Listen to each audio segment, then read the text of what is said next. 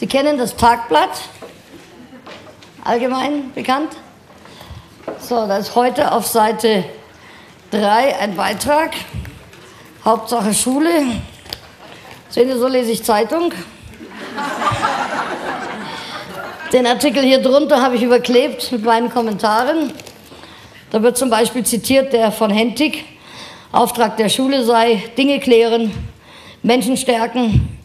Marvin Marva Collins sagt, erst die Menschen stärken, dann die Dinge klären. Hm? Das fand ich interessant. Dann, dass die St. Gallner mehr Stunden zur Schule gehen, aber noch immer nicht genug für die Bildungsferneren. Dann wird hier zitiert der US-Ethnologe Richard Sennett, dessen Buch Die Kultur des neuen Kapitalismus die Symptome der neuen Welt beschreibt. Unter anderem den raschen Wandel, die hohe Flexibilität, die Fragmentierung, Module statt Strukturen, Beständigkeit, Wertesicherheit etc. Ist nichts Neues, aber hat er vielleicht ganz originell beschrieben. So, interessant finde ich, dass dieser Artikel insgesamt so gut wie gar nichts aussagt. Er redet über sechs Thesen ähm, ihres LCH, ist sicherlich der Lehrerverband in der Schweiz. Ja, LCH? Also wie Loch ohne O.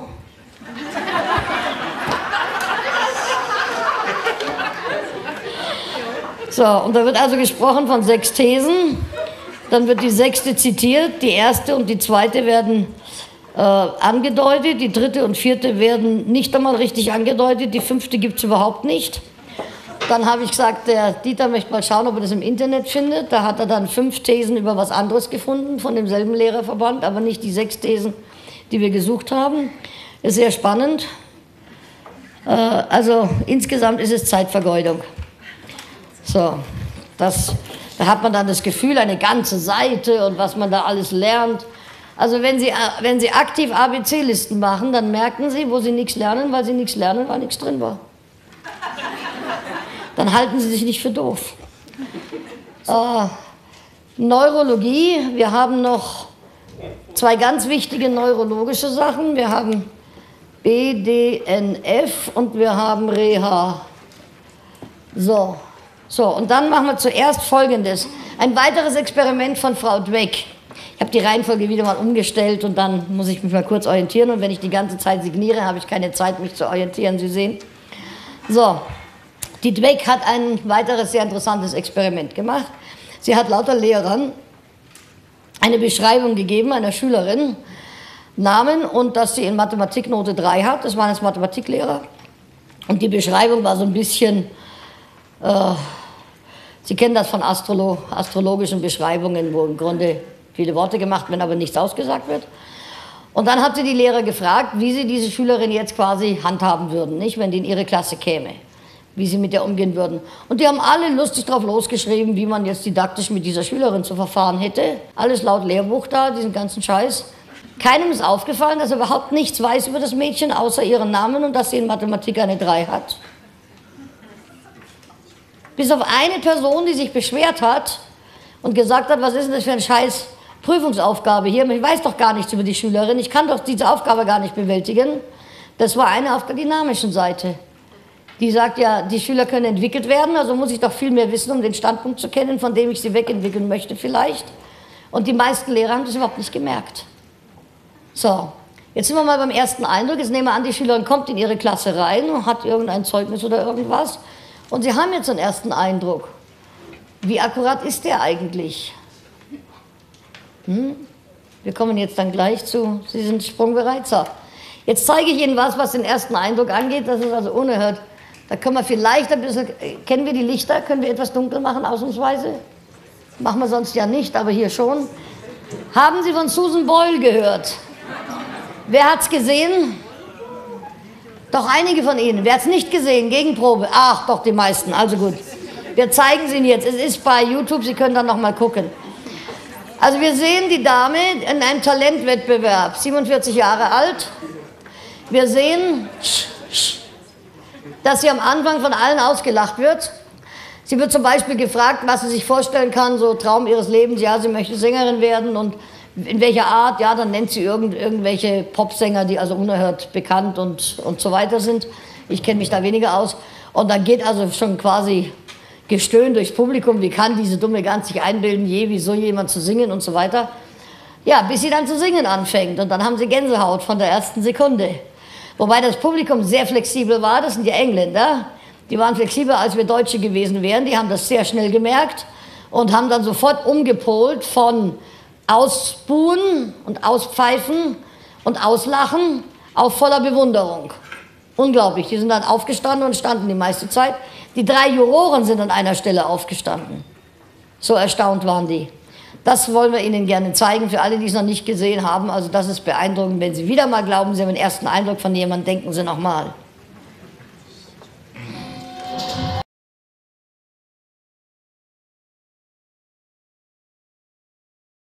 muss erst zurückgeholt werden und dann war sehr interessant.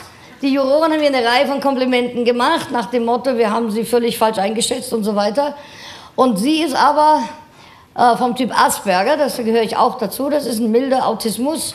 Und sie ist ein bisschen stärker betroffen als ich, das heißt, sie nimmt Dinge sehr wörtlich. Ich verstehe die Nuancen besser als zum Beispiel sie. Und die hat gar nicht mitgekriegt, dass man ihr, wenn Sie das bei YouTube nochmal genau anschauen, den ganzen Teil, der danach kommt, der dauert nochmal so lange wie das hier, äh, dann merken Sie, dass die phänomenale Komplimente machen und sie steht da und versteht das nicht wirklich.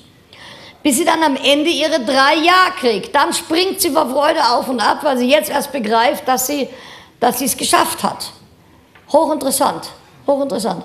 Sehen Sie, und diese Frau ist auch eine Illustration eines wichtigen Faktors für Erfolg, nämlich des Faktors F. Wir haben hier so ein Cover, das lege ich dann gleich auf. Also das F steht für Fleiß.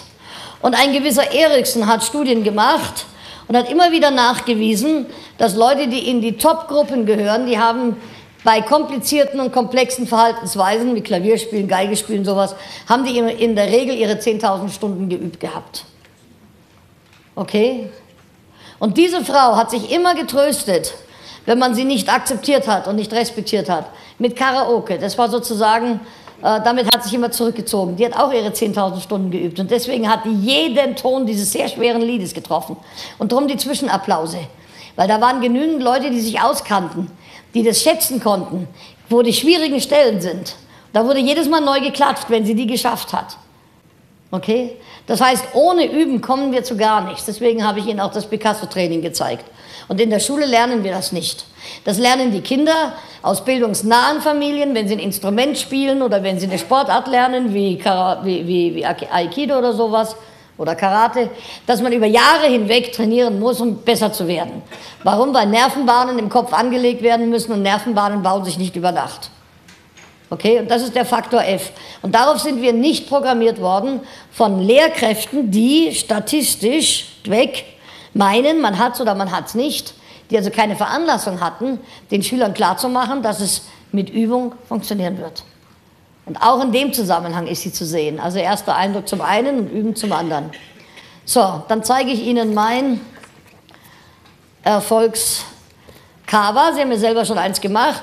Wir haben Ernte, das heißt, zuerst müssen wir gesät haben und dann können wir durch Übung und so weiter letztlich auch ernten. Und wir haben den Faktor F für das F. Wir haben die Formulierung. Das ist vielleicht noch eine interessante Fußnote für Sie. Das habe ich im Management-Seminar ausführlicher gemacht. Wenn Sie einen Plan haben, den Sie erreichen wollen, muss die Formulierung so sein, dass ein Fremder sie nacharbeiten kann, dass ein Fremder gemäß ihrer Formulierung arbeiten könnte. Also zum Beispiel, wenn der Diätberater uns sagt, ja, Sie müssen halt weniger Kalorien essen, als Sie verbrennen. Ja, was sollen Sie damit anfangen? Wissen Sie, wie viel Sie verbrennen? Also selbst wenn Sie Kalorien zählen, ist das keine Aussage, die Sie nachvollziehen können, wenn Sie keinen neuen Grundumsatz machen und nicht wissen, wie viel Sie verbrennen. Dann können Sie das Verhalten überhaupt erst an den Tag legen. Oder wenn der Berater sagt, Sie müssen halt langsam essen, dann sagt der Schnellschlingende, wieso, ich esse doch langsam. Wenn wir aber sagen, Sie müssen jeden Bissen 30 Mal kauen, besser noch 100, dann habe ich eine konkrete Anweisung gegeben, die nachgelebt werden kann. Das zur Formulierung. Leuchtet ein? Sie haben das dann in der Webseite, Sie können das ausdrucken später. Das ist also So, dann haben wir die Ressourcen. Welche Ressourcen nutzen wir vielleicht noch nicht, wenn wir erfolgreich sein wollen? Das Repertoire, das wir uns erüben. Wir haben die Orientierung, statisch oder dynamisch, das Mindset von Dweck und die anderen, die alle dran gehängt haben. Wir haben McGregor X und Y. Und wir haben Gehirnforschung, da kommt dann gleich noch was. Erikson ist der, der diese Studien gemacht hat. So, dann fehlt hier noch die Opportunity. Schauen Sie, Sie kennen das chinesische Wort für Krise, haben Sie sicher schon gehört, besteht aus zwei Zeichen. Das eine heißt Gefahr und das andere heißt gute Gelegenheit. So, und die beiden zusammen ergeben Krise. Und dann haben wir mal Chance nachgeschaut. Frau Krüppel hat das für mich freundlicherweise getan. Und Chance beginnt wieder mit guter Gelegenheit und hat dann ein weiteres Zeichen und das heißt Handeln. Ja, wenn Sie nicht handeln, keine Chance nicht. Sehen Sie, und darum ist das Dekodieren so spannend, weil Sie Einsichten gewinnen, wenn Sie wirklich schauen, was heißt das Wort wörtlich. Nicht, das heißt Krise, das heißt Chance. Dann verstehen Sie nicht, warum dieses Zeichen in beiden auftaucht. Sondern wenn Sie es wortwörtlich dekodieren, dann ist das Gefahr, gute Gelegenheit, gute Gelegenheit und Handeln. Ja? Oder wenn Sie Wade lernen auf Chinesisch, dann hat er angeblich ein dreisilbiges Wort, das heißt Wade. Ist alles gelogen. Das heißt Beinbäuchlein. Und wenn Ihnen Bein und Bauch wieder begegnet, verstehen Sie das, weil Sie bei Beinbäuchlein das hatten. Das bringt das Dekodieren. So, ich habe hier noch ein Stichwort aufgeschrieben, dass ich nicht vergesse, Ihnen zu erzählen, wie der Fritz Muljar immer gesagt hat in Österreich, damit die Österreicher hier auch was kriegen, was auf sie bezogen ist. Bitte unterhalten Sie sich noch mal kurz mit Ihrem Nachbarn Warum ist der Weg zur Hölle immer mit guten Vorsätzen gepflastert? Versuchen Sie mal eine Erklärung dafür zu finden. Wo ist mein Timer hin? Hier, das ist der, der immer nicht ruft, wenn man ihn sucht.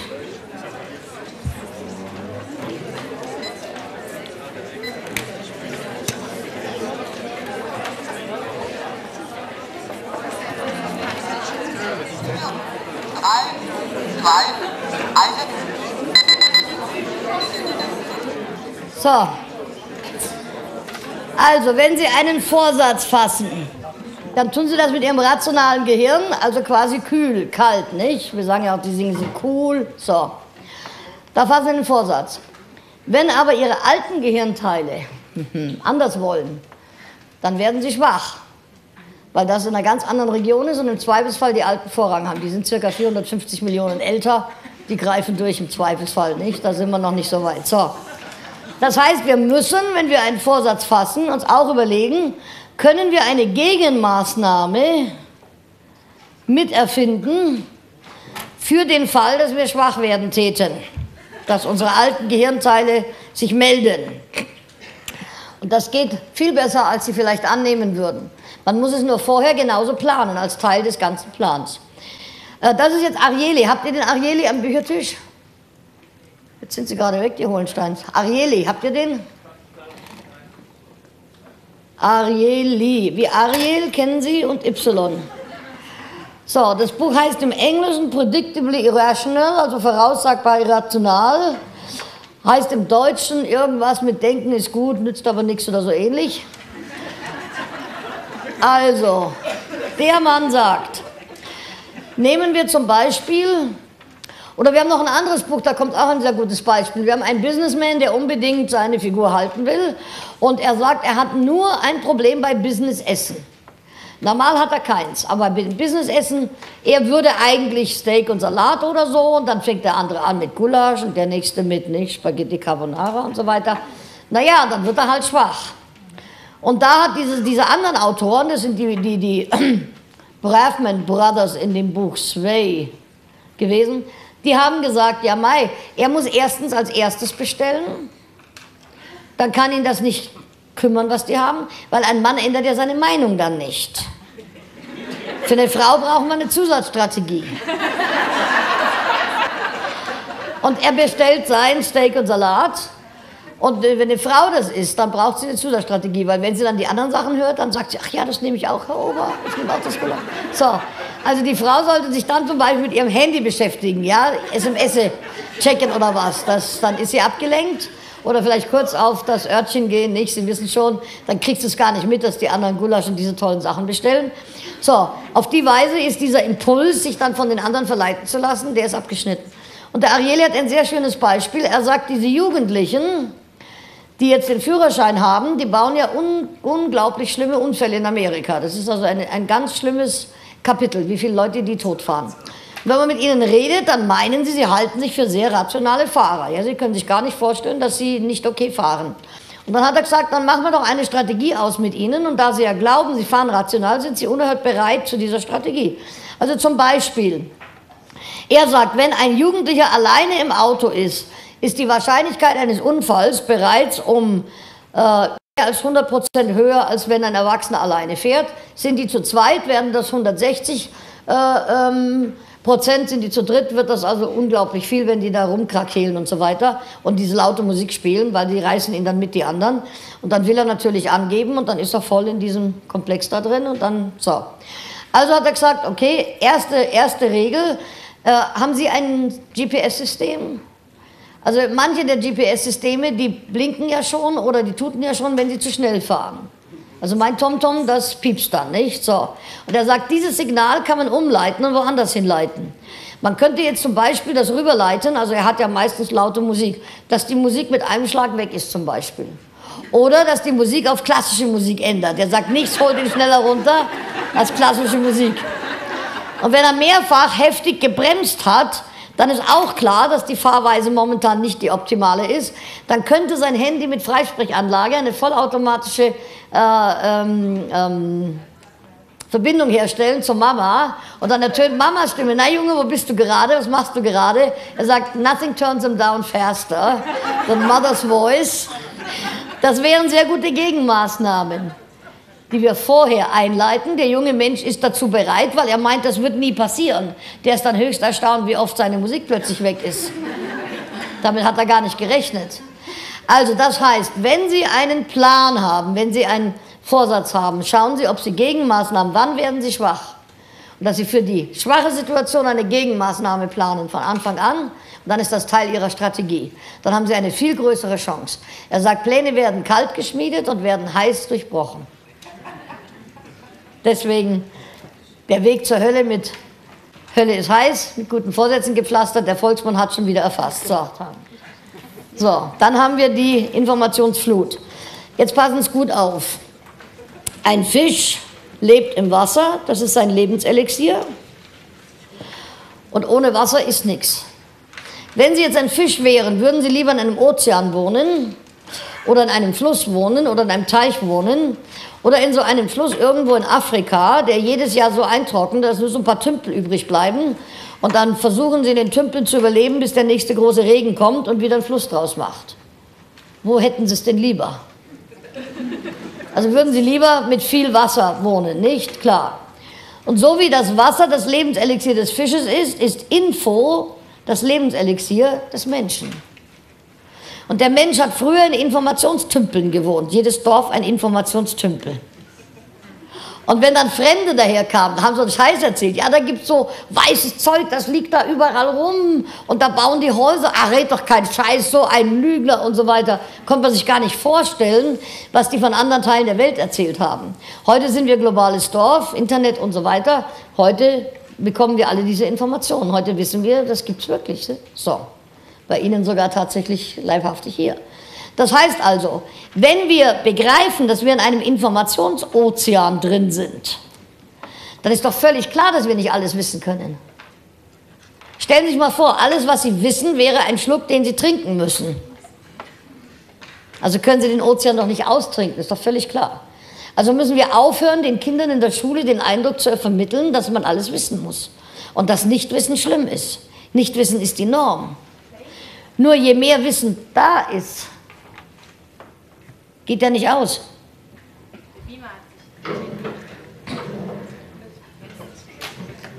Sonst hätte ich da den Deckel zugemacht. Okay, danke schön. so, jetzt ist er wieder da, ne?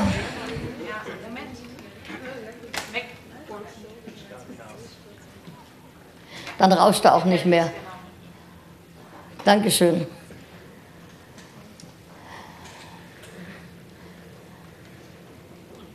Warum, warum tut er noch? Aha, genehmigt. So. Also erstens, wir können nicht alles wissen. Zweitens, wenn wir Informationen suchen, je mehr Wissen da ist, desto besser können wir was finden. Also ist das ja wunderbar. Drittens, damit Sie Ihr Leben lang kein Problem mehr haben. Es gibt drei Kategorien von Wissen. Das hier ist wertvoll, wesentlich. Das hier ist Infomüll. Kreuzworträtselwissen. Das hier ist eine andere Kategorie. So, hier und hier müssen Sie aufpassen. Hier, Sie können nie zu viele wesentliche Informationen haben. Das gibt es nicht. Wesentlich definiere ich nach Professor Davies, der gesagt hat, eine Information ist dann wesentlich, wenn sie uns etwas über das Wesen der Sache sagt, über die wir gerade reden. Und Neil Postman, der unter anderem geschrieben hat, wir amüsieren uns zu Tode, hat gezeigt, dass die meisten Nachrichten, die wir in den Medien als Nachrichten serviert bekommen, keinerlei Nachrichtenwert haben. Sie sind nicht newsworthy, sie sind nicht wert, eine News zu sein. Und er sagt, wann hat eine Nachricht newsworthy, wann hat sie den Neuigkeitswert? Den hat sie, wenn sie in der Lage wäre, meine Einstellung und oder mein Verhalten zu verändern. So, denken wir mal darüber kurz nach. Also wenn Sie wieder einen Autobahnunfall sehen, bei Nebelunfall gewesen, das ist weder wesentlich noch newsworthy. Die brennende Lagerhalle ist weder wesentlich, es wäre nur wesentlich, wenn sie ihre eigene wäre, das erfahren Sie auch ohne Nachrichtensendung. Sie ist auch nicht newsworthy. Sie erleuchtet sie in keinster Weise. Und die meisten Nachrichten sind weder noch. Auch was so in der Zeitung drin steht. Hier, Ihr Tagblatt heute. Seite 1. Seite 8. Boris Becker hat geheiratet. Da tun mir die Bäume leid, die dafür sterben müssen. Ich meine, ich mag Boris Becker, aber, aber so ein großes Bild und so viel alberner Text drumherum, ich war so aufgeregt, Großmutter zum Trauplatz, naja. Das ist nicht wirklich Nachrichten, wissen Sie. So, wenn wir also wieder einen Autobahnunfall haben, er wäre wesentlich und er wäre newsworthy, wenn Sie erfahren würden, zum Beispiel, warum die Leute bei Nebel zu schnell fahren. Das erfahren Sie aber nicht. Möchten Sie es gerne wissen? Ja. Ja, sehen Sie. Sie haben ein Gefühl für Geschwindigkeit aufgrund dessen, was seitlich peripher in Ihrem Auge vorüberflitzt. Deswegen haben wir diese Baken da an der Autobahn. Darum baut man die. Und wenn Nebel ist, flitzt nichts. Bei dicker Nebelsuppe flitzt nichts. Und darum fahren Sie zu schnell, weil hier nichts flitzt. Also tun Sie zwei Dinge. Erstens öffnen Sie das Fenster ein bisschen. Die Kühle hilft Ihnen, einen kühlen Kopf zu bewahren. Und zweitens schauen Sie regelmäßig auf den Tacho und dann merken Sie, dass Sie 90 fahren und nicht 50. Sehen Sie, das ist wesentlich, es sagt etwas über das Wesen von Unfällen bei Nebel aus, warum die Leute zu schnell fahren. Und es ist newsworthy, denn es könnte Ihr Verhalten oder Ihre Einstellung verändern. Wenn Sie wieder mal von einem hören, der bei Nebel zu schnell gefahren ist, sagen Sie nicht so ein Arschloch, sondern der hat es halt nicht gewusst. Der hat wahrscheinlich gemeint, er fährt 60 als er mit 110 über die Autobahn gerast ist. Er hört ja nichts. Er hört nichts, er fühlt nichts, das wird alles gedämpft und nichts flitzt vorbei. Ist das spannend? Die Österreicher haben Punkte, die sie auf die Autobahn malen, große Punkte, damit was vorbeiflitzt. Das ist sehr hilfreich. Okay, also wesentliche Information, Kategorie 3, können Sie nie genug haben. Sind wir uns einig? Das ist nicht die Informationsflut, in der Sie ertrinken. Ertrinken tun Sie hier und hier. Das hier ist Update. Wenn Sie bedenken, wie oft Software abgedatet wird, also jedes vierte, fünfte, sechste, siebte Mal wäre vielleicht notwendig, die anderen dazwischen sind nur um Geld zu verdienen. Also ich habe mein GPS-System, das eine im Auto, das ist jetzt ein Jahr alt. Jedes Mal, wenn ich das anmache, steht da drauf, Ihre Karte ist älter als zwölf Monate, muss ich erst draufklicken. Das ist eine absolute Frechheit, das ist einfach Werbung. Die wird so lange gemacht, bis die glauben, dass es mir zu blöd wird. Ich stelle mich darauf ein, dass ich einmal mehr drücken muss und damit hat sich der Fall. Das ist noch lange kein Grund für mich, jetzt abzudaten. Wenn Sie am Computer updaten, dann haben Sie eine Menge neuer Programme, eine neue, Menge neuer Befehle, die Sie meistens nicht brauchen. Aber ein paar Sachen sind verrutscht und sind nicht mehr so, wie Sie sie kennen. Und es dauert in der Regel, früher hat es in der Regel vier, fünf Wochen gedauert, bis die Treiber mit den Druckern zusammengearbeitet haben. Also das war immer eine Qual. Das ist jetzt besser geworden, aber Sie wissen, wovon ich rede. Also überlegen Sie sich, müssen Sie updaten. Dasselbe gilt im Hardware-Bereich, da heißt es Modellpolitik. Ich habe drei Geräte vom selben Hersteller, Panasonic, und zwei stehen direkt nebeneinander. Beide sind Satellitenempfänger. Beide haben eine fast identisch aussehende Fernbedienung. Bei beiden sind die Unterschiede so groß, dass ich jedes Mal nachdenken muss, was ich wo machen muss, welches der beiden Geräte ich gerade bediene. Sind gleichzeitig gekauft worden. Das nennt sich Modellpolitik. Vom einen hat er noch einen Ladenhüter drin gehabt, vom anderen hat er gerade den neuen reingekriegt. Stellt er mir also alle beide hin, ohne darüber nachzudenken, der Händler, wo käme man dann da hin, wenn man sich vorstellt, wie das ist, wenn der Kunde das Zeug benutzt, was er für viel Geld bei mir kauft. Das bräuchte ja jemand, der denken kann. Ja, aus dem normalen Schulsystem kommt der ja nicht raus. Darum müssen wir unseren Schülern beibringen, dass sie mit, nicht, mit klarkommen. So, das heißt, wenn ich ein Modell finde, das mir gefällt, kaufe ich sofort drei nach, denn wenn ich das später nachkaufen will, gibt es das nicht mehr. Und ansonsten, also, das ist diese Kategorie. Infomüll, zum Beispiel, müssen Sie wissen, wie hoch die Rocksäume dieses Jahr sind. Ja, wenn Sie Modemacher sind, schon, natürlich. Wenn Sie Textilverkäufer sind, auch. Das heißt, ob etwas Infomüll ist, können nur Sie entscheiden. Das hat mit Ihrem Leben, mit Ihrem Beruf, mit Ihren Interessen zu tun. Es gibt keine Information, die an und für sich ramsch wäre. Aber müssen Sie wissen, wie hoch die Säume sind. Und die Informationen, von denen wir ertrinken, sind die, die wir wirklich nicht unbedingt, muss ich wissen, ob und wie Boris Becker geheiratet hat? Ich nicht. Mir reicht die Information das vollkommen. Ich muss die Details nicht wissen. Wäre für mich also Infomüll, also muss ich Seite 4 nicht lesen. Und wir meinen oft, das lesen zu müssen, nur weil es da steht. Überlegen Sie das mal, was Sie für Zeit vergeuden damit. Also fragen Sie sich, wenn ich nur noch vier Tage zu leben hätte, würde ich diesen Beitrag dann lesen wollen? Das klärt den Geist. Dann stellen Sie bald fest, was wesentlich ist in Ihrem Leben. So, das war das. Jetzt ist der Zettel runtergefallen, jetzt kommt wieder das Dankeschön. Ach, vielen Dank. So, jetzt das mit den Kügli. Also mit der Doppelcheckliste, das wurde kurz erwähnt. Sie haben in dem Buch Trotzdem Lernen Lehren diese längere Liste in zwei Spalten nebeneinander, aber eigentlich müssen sich die als länger vorstellen. Hier haben wir die Neuromechanismen und hier haben wir die NLLS, Non-Learn Learning Strategies, Neudeutsch, die Nicht-Lern-Lernstrategien.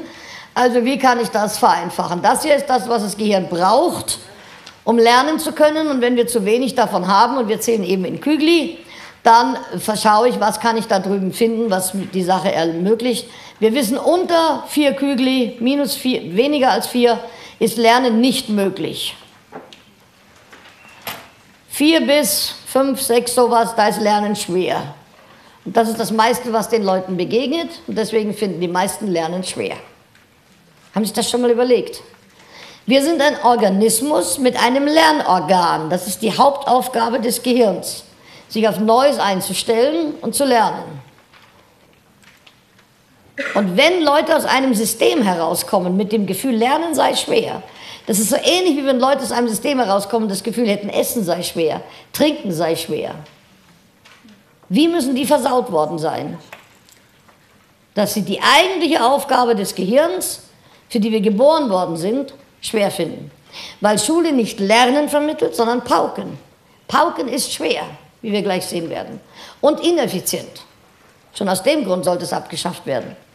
So, und diese Kügeli waren ein Denkmodell gewesen. Und jetzt kann ich Ihnen die neurophysiologische Grundlage dafür vorstellen und dann sehen Sie, dass es eben nicht mehr nur ein Denkmodell ist. Jetzt habe ich den Namen der Frau wieder nicht da. Rita, die habe ich nachgetragen in Barlem. Rita Levin Montelani. Die Dame ist jetzt 100 Jahre alt, ist in äh, Italien nur die Professorin genannt, war neulich ein Beitrag über sie in einer Zeitschrift. Also vor einigen Jahrzehnten in einem Labor, in einer Petrischale, das sind diese kleinen Glasschälchen, wo immer was drin passiert in Labors, die heißen Petrischalen, da sind einige Neuronen, also Gehirnzellen von Hühnern, also Kükenneuronen, sind fröhlich vor sich hingewachsen. In einer guten Nährlösung tun die das. Und dann hat irgendwer aus irgendwelchen Gründen ob das ein Versehen war oder Absicht, weiß ich nicht. Da hineingegeben ein paar Krebszellen von einem völlig anderen Tier. Jetzt fragen Sie sich mal, was passiert wahrscheinlich? Was passiert den fröhlich vor sich hinwachsenden Gehirnneuronen, wenn es da Krebszellen reinkommen? Die Krebszellen waren von einem Schwein, glaube ich, weiß nicht mehr, was von einem anderen Viech. Was passiert wahrscheinlich? Unterhalten Sie sich mal kurz, was nehmen Sie an? Tauschen Sie mal Ihre Vermutungen aus.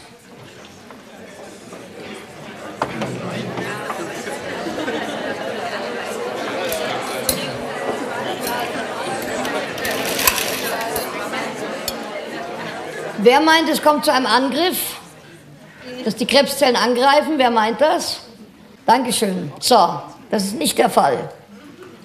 Es war einleuchtend, dass man das denken könnte. Was passiert, hat alle überrascht. Nämlich die Gehirnzellen sind besser gewachsen. Daraufhin hat diese damals junge Wissenschaftlerin Rita Levin Montelani gesagt, das ist ja gerade so, als hätten die Krebszellen eine Art Neuronenwachstumsfaktor. Und die Frage fand sie so faszinierend, dass sie jetzt die nächsten zehn Jahre ihres Lebens dafür hingegeben hat.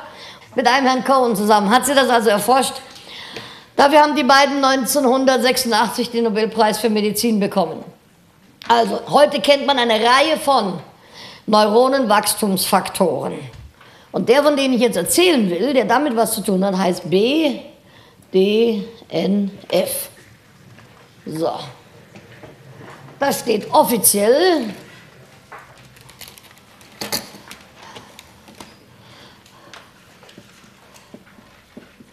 für Brain Derived Neurotropin Faktor. Wir nennen das aber nicht so.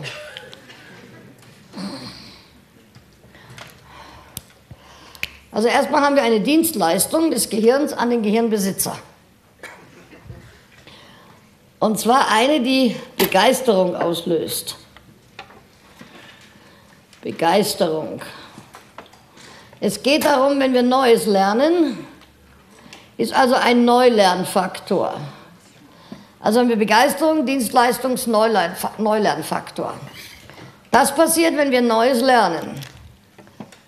Wenn folgende drei Voraussetzungen erfüllt sind, dann funktioniert neues Lernen und wir bekommen als Bonus einen vierten Punkt dazu geschenkt. So sieht Lernen aus. Und das hier ist die neurophysiologische Grundlage für unsere Kügeli. Ist das spannend? Möchten Sie jetzt wissen, was das ist? Wären Sie frustriert, wenn ich es Ihnen nicht erzählen würde? Also erstens, der Lerner muss aktiv lernen, passiv berieseln geht nicht. Haben wir heute schon erwähnt. Er muss aktiv lernen. Also zwischendurch eine ABC-Liste mit dem Nachbarn kurz mal konferieren, eigene Gedanken austauschen und so weiter. Immer wieder eine Aktivität. Sonst geht es nicht. Wenn er also passiv bleibt, dann geht es an ihm vorbei. Der zweite und der dritte Faktor beschreiben, warum Pauken nicht möglich ist. Sehen Sie? Man muss aufmerksam sein. Sehen Sie? Und wir behaupten immer, lerne konzentriert. Konzentrier dich, sagen wir. Das ist falsch. Wenn Sie sich konzentrieren, ziehen Sie zusammen, dann machen Sie zu. Das ist die Zumerksamkeit.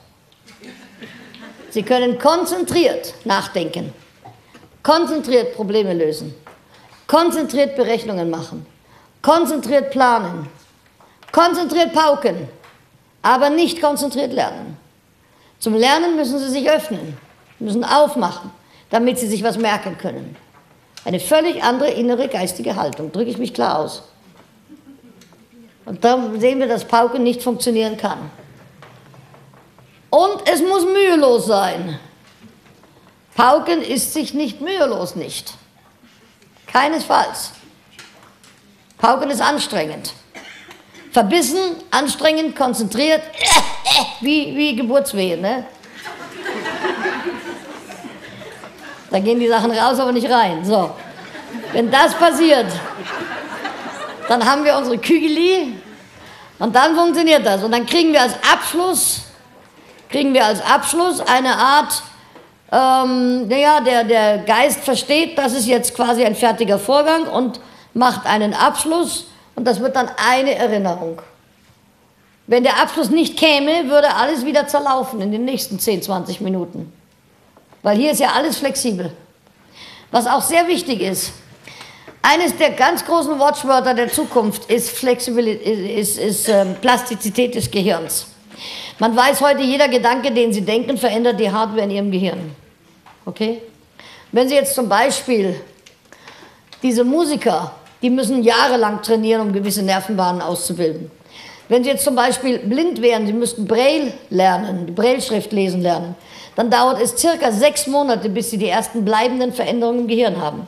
Da haben also Leute, wurden beobachtet, die haben vier Tage geübt oder fünf und dann haben sie Wochenende gemacht und dann waren alle Veränderungen im Gehirn wieder weg. Dann fingen sie quasi von vorne an, sechs Monate lang, bis die ersten Veränderungen blieben. Wenn wir eine einfachere Sache haben, wir haben im anderen Seminar mal Gummibänder verteilt und dann haben wir zwei Leute, das können Sie dann im Klassenzimmer mal machen, A und B. Der eine hält das Gummiband fest, der andere streckt seinen Zeigefinger durch, also hier auf der Tischplatte, dann kommt hier das Gummiband und der drückt das Gummiband runter und der soll jetzt gegen das Gummiband den Zeigefinger heben, Muskelkraft, wie im Fitnessstudio, 15 Mal, dann ausruhen und so weiter. Wenn man also in der Weise einen Zeigefinger trainiert, nach 21 Tagen haben wir die ersten bleibenden Veränderungen im Gehirn. Das heißt, es ist eine viel einfachere Tätigkeit, da geht es schneller. Je komplexer die Tätigkeit, desto länger braucht es, bis wir die Nervenbahnen gebaut haben. Es verändert sich ständig im Gehirn physiologisch etwas. Werden Nervenbahnen gebaut. Und bei diesem Prozess hier passiert im Gehirn etwas, was quasi nachweisbar ist. Und dann ist da ein neuer Lernprozess entstanden. Leuchtet das ein? So, und jetzt kommt etwas, da müssen Sie sich anschnallen, dass Sie nicht vom Stuhl fallen.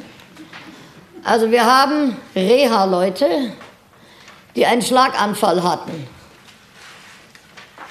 Und wir haben einen Dr. Taub, deutschstämmig, aber in Amerika, also Dr. Taub. Und deswegen nenne ich das den Torb- oder Taub-Effekt, von dem wir jetzt reden. Der Mann ist ähnlich wie ich, der hat also jahrzehntelang gekämpft gegen Umwelten, die gesagt haben, das ist alles Schmarrn, was er behauptet. Aber inzwischen konnte er sich durchsetzen, das kann man jetzt nicht mehr leugnen, was er behauptet. So, er hat also zum Beispiel Folgendes gezeigt. Wenn Sie jetzt einen Schlaganfall hätten und Sie verlieren also momentan die Fähigkeit, Ihren rechten Arm zu benutzen. Die Reha-Maßnahmen im Krankenhaus dauern vier bis sechs Wochen und wenn sich dann nichts bewegt, sagen die, okay, kann man nichts mehr machen, lernen Sie Ihren linken Arm für alles einzusetzen und das war's gewesen. Dann schickt man Sie nach Hause. Der Taub hat nachgewiesen, nach 15, 20 Jahren, dass man den rechten Arm wieder trainieren kann, geschweige denn, wenn das vor kurzem war. Überhaupt kein Thema. Aber wie hat er das gemacht? Jetzt haben Sie also hier, also wenn wir den von hinten anschauen, dann ist das hier sein rechter Arm, der hängt hier nutzlos umeinander. Das ist der linke, mit dem er agieren kann. Und den hat man ihm jetzt festgebunden, den hat man fixiert. Das hat die also verrückt gemacht, die Patienten, die waren stocksauer. Und er nannte diesen herunterhängenden Arm, nannte er erlernte Nichtbenutzung. So, jetzt dauert es mindestens 21 Tage, siehe Gummiband, bis der erste kleine, kleinstmögliche Erfolg sichtbar wird. Vielleicht dauert es sechs Wochen bei einem Arm, der jahrelang runtergehängt war. Weil Sie müssen noch etwas wissen im Gehirn. Das Gehirn ist nicht nur unheimlich plastisch, sondern wenn ein Teil im Gehirn nicht mehr benutzt wird, dann bleibt der nicht brach liegen wie ein Weizenfeld, sondern kommt sofort ein Reisbauer, es kommt sofort irgendwas anderes und usurpiert diese Areale. Die sind also jetzt woanders in Benutzung.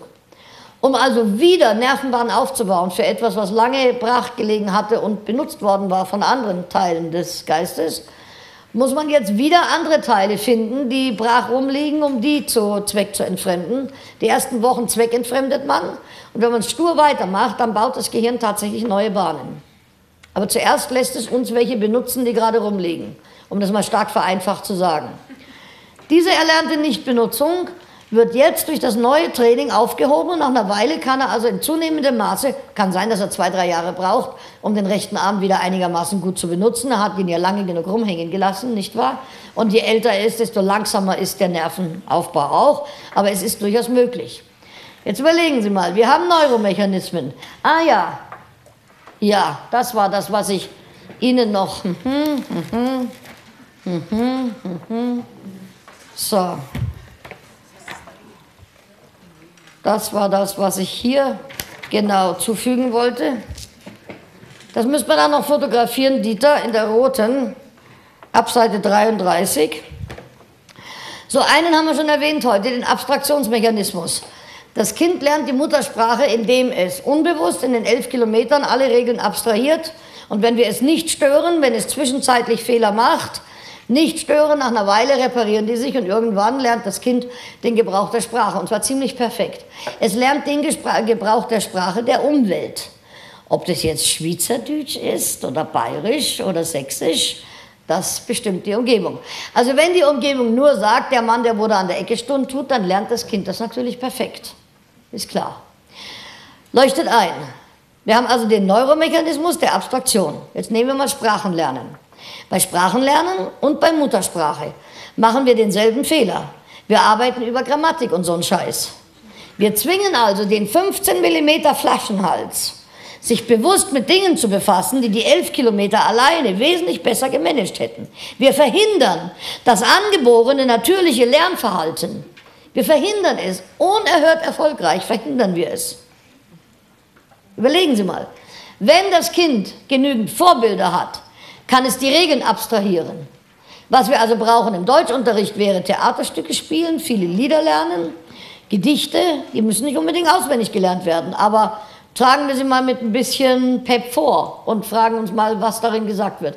Hier haben wir gute Sprache, gute Mechanismen.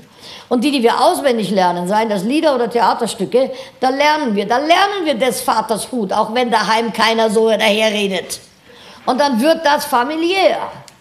Und nach drei, vier Jahren davon kann ich mich in dieser Sprache bewegen, geistig. Unabhängig davon, wie die daheim reden. Schauen Sie, die Kinder von Migranten, wenn das bildungsfreundliche Migranten sind, sprechen doch dann, sagen wir jetzt Schweizerdeutsch, wesentlich besser als die Alten. Weil sie es nicht von den Eltern lernen, sondern von der Umgebung, von den Klassenkameraden etc., von den Spielkameraden. Richtig? Ja, die Spielkameraden erklären ihnen doch keine Grammatik. Brauchen wir doch nicht. Dasselbe bei der Fremdsprache. Wir verhindern den Abstraktionsmechanismus. Was wir also haben ist, der Abstraktionsmechanismus ist jetzt der rechte Arm, der vor dem Schlaganfall ja gut funktioniert hat, das heißt vor der Schule. In der Schule machen wir einen geistigen Reha-Patienten aus dem Kind. Und dann beschweren wir uns, dass der nichts lernen kann. Wir haben also eine erlernte Nichtbenutzung des Neuromechanismus der Abstraktion. Drücke ich mich unmissverständlich aus. So, um das zu reparieren, müssen wir genau dasselbe tun, darum nenne ich das den Taubeffekt. Wir müssen den falschen Scheiß, also Grammatik und Vokabeln lernen, müssen wir fixieren, festbinden, unterbinden. Damit das wieder passieren kann. Und was machen die Kinder? Die sagen, na, ich bin jetzt gewohnt dran, Vokabeln zu lernen. Ja, die müssen wir also wirklich erst, also die Frau Hohenstein, die hat vor Jahren, wo ist sie denn, die Karin? Ist immer schlecht, wenn man das Lob nicht hört über jemanden, wenn man gerade draußen ist. So. Die hat also vor Jahren eine phänomenale Idee gehabt. Das ist auf unserer äh, DVD drauf, Sprachenlernen leicht gemacht im Bonusmaterial. Da sitze ich mit Frau Hohenstein und mit Frau Mulay am Tisch und wir quatschen ein bisschen über Aktivitäten, Lernschritt 4. Und da hat sie eine Klasse gehabt, die also keine Lust hatte, vom Vokabellernen abzuweichen. Die waren schon so versaut. Ne? Diese Patienten, die regen sich auch auf zuerst, wenn sie den, den Arm trainieren sollen. Die sagen, was scheiße, ich bin jetzt gewohnt im Linken, das reicht mir doch nicht. So.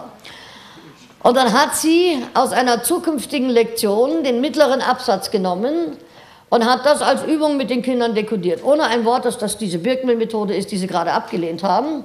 Hat gesagt, okay, gut, lernt eure Vokabeln, fein, machen wir es anders. Hat diesen Absatz genommen, hat das jetzt mit denen dekodiert. Und äh, dann ist sie das zwei, dreimal durchgegangen die nächsten Tage mit ihnen, dann hat sie weiter nichts mehr gesagt. Na, und was ist? Drei Wochen später kommt die Lektion dran und dann merken die Lektion 1 alles unbekannt, äh, Absatz 1 alles unbekannt, Absatz 2 ich verstehe jedes Wort, Absatz 3 alles unbekannt. Und dann haben die kapiert, wie toll das ist, wenn man beim ersten Durchgang im Unterricht versteht, wovon man redet. Ha? Und dann wollten sie mehr wissen. Also wir müssen hier möglicherweise mit Tricks arbeiten, um die hm, diese Schlafkrankheit erstmal zu umgehen. So. Und das gilt jetzt für viele Neuromechanismen. Also erstens den der Abstraktion. Zweitens, wenn wir dekodieren, dann entdecken wir ja den Sinn. Sinn entdecken ist ein Neuromechanismus. Und Lehrer neigen dazu, den Schülern die Informationen klein zu schneiden, vorzukauen und wenn es geht auch noch vorzuverdauen. Das ist nur gut für junge Vögel.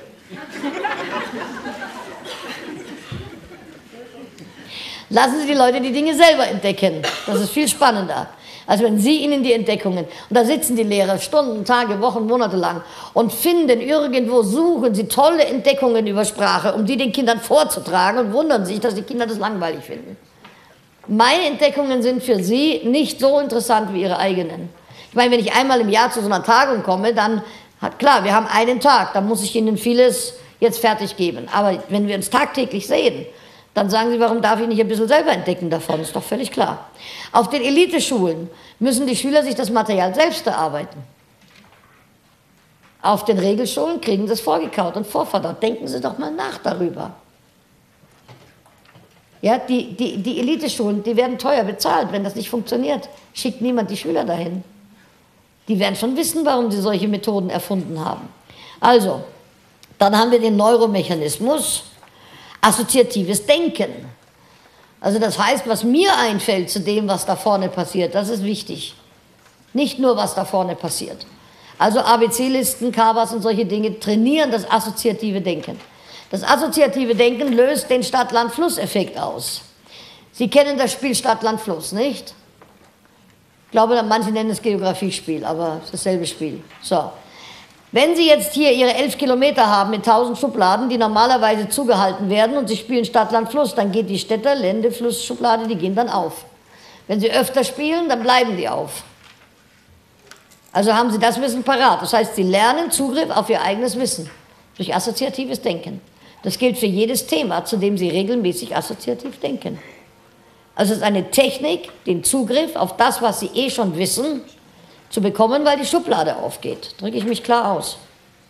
Und das wird in der Schule auch verhindert. Das brauchen wir.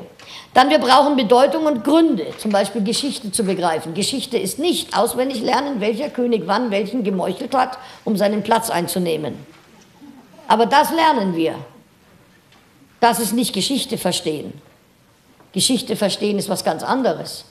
Und wenn wir anfangen, über die großen Entwicklungen nachzudenken und was es bedeutet, also 333 bei Isus Keilerei, fein. Wenn der gute Alexander diese Schlacht eben mal nicht gewonnen hätte zur Abwechslung, dann hätte Persien gewonnen. Dann wäre Griechenland und Europa quasi iranisiert worden und wahrscheinlich später auch islamisiert worden. Wir hätten also eine ganz andere Zukunft gekriegt damals in der Vergangenheit, wenn das so gelaufen wäre. Das ist die Bedeutung dieser Schlacht, dass wir dadurch europäisch geblieben sind. Darum geht es. Oder jetzt mit Türkei, EU oder nicht. Denken Sie mal darüber nach, was das für Auswirkungen hat, wenn ja oder wenn nein. Ja? Treiben wir dem Islam zu, mit dem sich dann verheiraten müssen? Der islamische Teil in der Türkei wird gestärkt. Oder helfen wir ihnen, europäischer, westlicher zu werden? Was wollen wir denn eigentlich für eine Türkei haben? Oder die Schweizer und die EU. Sie sind ja noch clever, noch draußen geblieben, was manche der Lernprozesse angeht, die zurzeit laufen, die also gar nicht so gut sind. Aber à la long sollen wir immer ein Loch in die Landkarte brennen. Im europäischen Land, wo die Schweiz ist, das Schweizer Loch, nicht? Jetzt sind wir schon wieder dabei. So. Bewegung ist notwendig im Unterricht. Ähm, also schauen Sie, die Jungen sind ja zu 80 Prozent, die Lernbehinderten ja männlich. Hm? Liegt das daran, dass die so blöd sind? Oder könnte das am System liegen? Ja? Jungen haben fast die doppelte Menge Muskelmasse. Also müssen sie wesentlich mehr sich bewegen, um diese vielen Nervenbahnen aufzubauen, die notwendig sind, um die zu bewegen. Leuchtet das ein? Das beginnt bereits vor der Geburt. Sie wissen ja nicht. Da passiert's. So, jetzt hat man früher gesagt, wenn sich viel bewegt, wird es ein Junge. Das ist richtig. Wenn sich viel bewegt, wird es ein Junge. Der muss ja mehr trainieren, damit er mit den Beinchen strampeln kann, wenn er rauskommt. Also wenn ein Kind im Mutterleib, wenn es schläft, dann reift es. Und wenn es wach ist, dann lernt es oder es trainiert. das ist wahr. Ununterbrochen. Wir lernen seit, seit nach, der, nach der Vereinigung von Ei und Dings beginnt der Lernprozess. So. Ja, es war. Es war. So. Also zum Beispiel im siebten Monat der Schwangerschaft beginnt das Kind sich auf die Muttersprache einzuhören, die es hören wird, wenn es rauskommt. Da beginnt es sich synchron mit der Sprache zu bewegen. Ja? Das erkennt auch seine Muttersprache. Wenn die verschiedene Sprachen vorspielen, bei seiner Muttersprache wird es ruhig, bei anderen wird es unruhig. Auch wenn es die Worte alle noch gar nicht versteht, erkennt es bereits den Duktus der Muttersprache. Hochinteressant. So, jetzt heißt das also, vor der Geburt hat der Junge mehr Zeit mit Training zugebracht als das Mädchen. Also kommt da etwas unreifer heraus, neurologisch. In den ersten ein bis anderthalb Jahren schläft er weniger ein, weniger gut, weniger, weniger gut durch und die Schreibübungen sind auch zu 80 Prozent Jungen. Das heißt, er muss noch weiter, wesentlich mehr Nervenbahnen aufbauen, also wird er immer unreifer.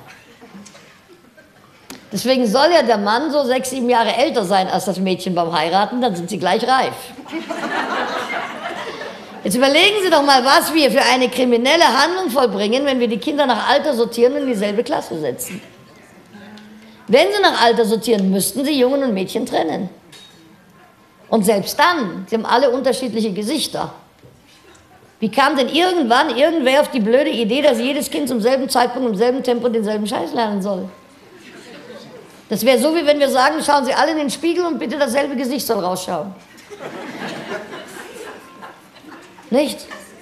In der Zwergenschule hat der eine, der eine Junge mit sieben lesen gelernt, der andere mit elf. Das war okay. Mit 14 haben sie alle einigermaßen gelesen. Das war jedem Zwergschullehrer vollkommen klar, dass die nicht gleichzeitig zur selben Zeit im selben Tempo dasselbe lernen. Überlegen Sie mal, was wir für ein System gebastelt haben. Und die Unfairness den Jungen gegenüber. Deswegen versagen so viele. Das liegt am System. Über die Dinge muss nachgedacht werden. Dringend. So, der Junge muss sich also mehr bewegen. Jetzt darf er in der Schule nicht, der wird festgebunden am Pult, nicht? Jetzt ist das Pult ein, ein optimaler Aufbewahrungsort für ein Mädchen. Mädchen hocken gerne auf ihrem Arsch, schon sehr früh. Wenn es also eine Freistunde gibt zum Beispiel, dann hat der Mensch, der die Freistunde ankündigt, noch nicht ausgesprochen, zack, sind alle Jungen rausgerannt. Die Mädchen bleiben hocken. Ist doch hochinteressant. Oder in den Pausen. Die Mädchen stehen oder hocken in kleinen Gruppen, unbeweglich die ganze Pause und die Jungen rennen über den ganzen Pausenhof. Ja, warum berücksichtigen wir das nicht im Unterricht? Schauen Sie, als ich die ersten Seminare gemacht habe in Amerika, da hatte ich also Verkäufer, die gewohnt waren zu stehen, am Flur rumzugehen, also in, in Läden, die Verkäufer, die am Tresen waren oder in einem großen Laden rumgelaufen sind, die also ständig auf den Beinen waren habe ich natürlich sehr schnell gemerkt, wie unruhig die waren. Die Damen, die saßen ganz brav da. Ne? Dann habe ich gesagt, okay, die Herren können, also wir haben zwei Kreise gemacht, äußeren, inneren, außen die Herren, innen die Damen. Dann haben gesagt, die Herren können, sich, können aufstehen, können hinten sogar rumlaufen, wann sie wollen. Ist überhaupt kein Thema. Interessant ist, wenn die hinter ihrem Stuhl stehen, wenn sie das mit Kindern zum Beispiel machen, die Jungen, die stehen ja nicht, die wippen ja immer nicht. Und da können sie ihren Bewegungsdrang ein bisschen ausleben und trotzdem zuhören. Das zweite, die zweite große Kriminalität, die wir an den Jungen verbringen, ist, wir reden andauernd. Weiber quatschen. Männer nicht. Also wenn es ein Kreuz gibt, hier sind die männlichen und die weiblichen, das Chinesische, das geht schneller, hier sind die Jungen, die Madeln. So.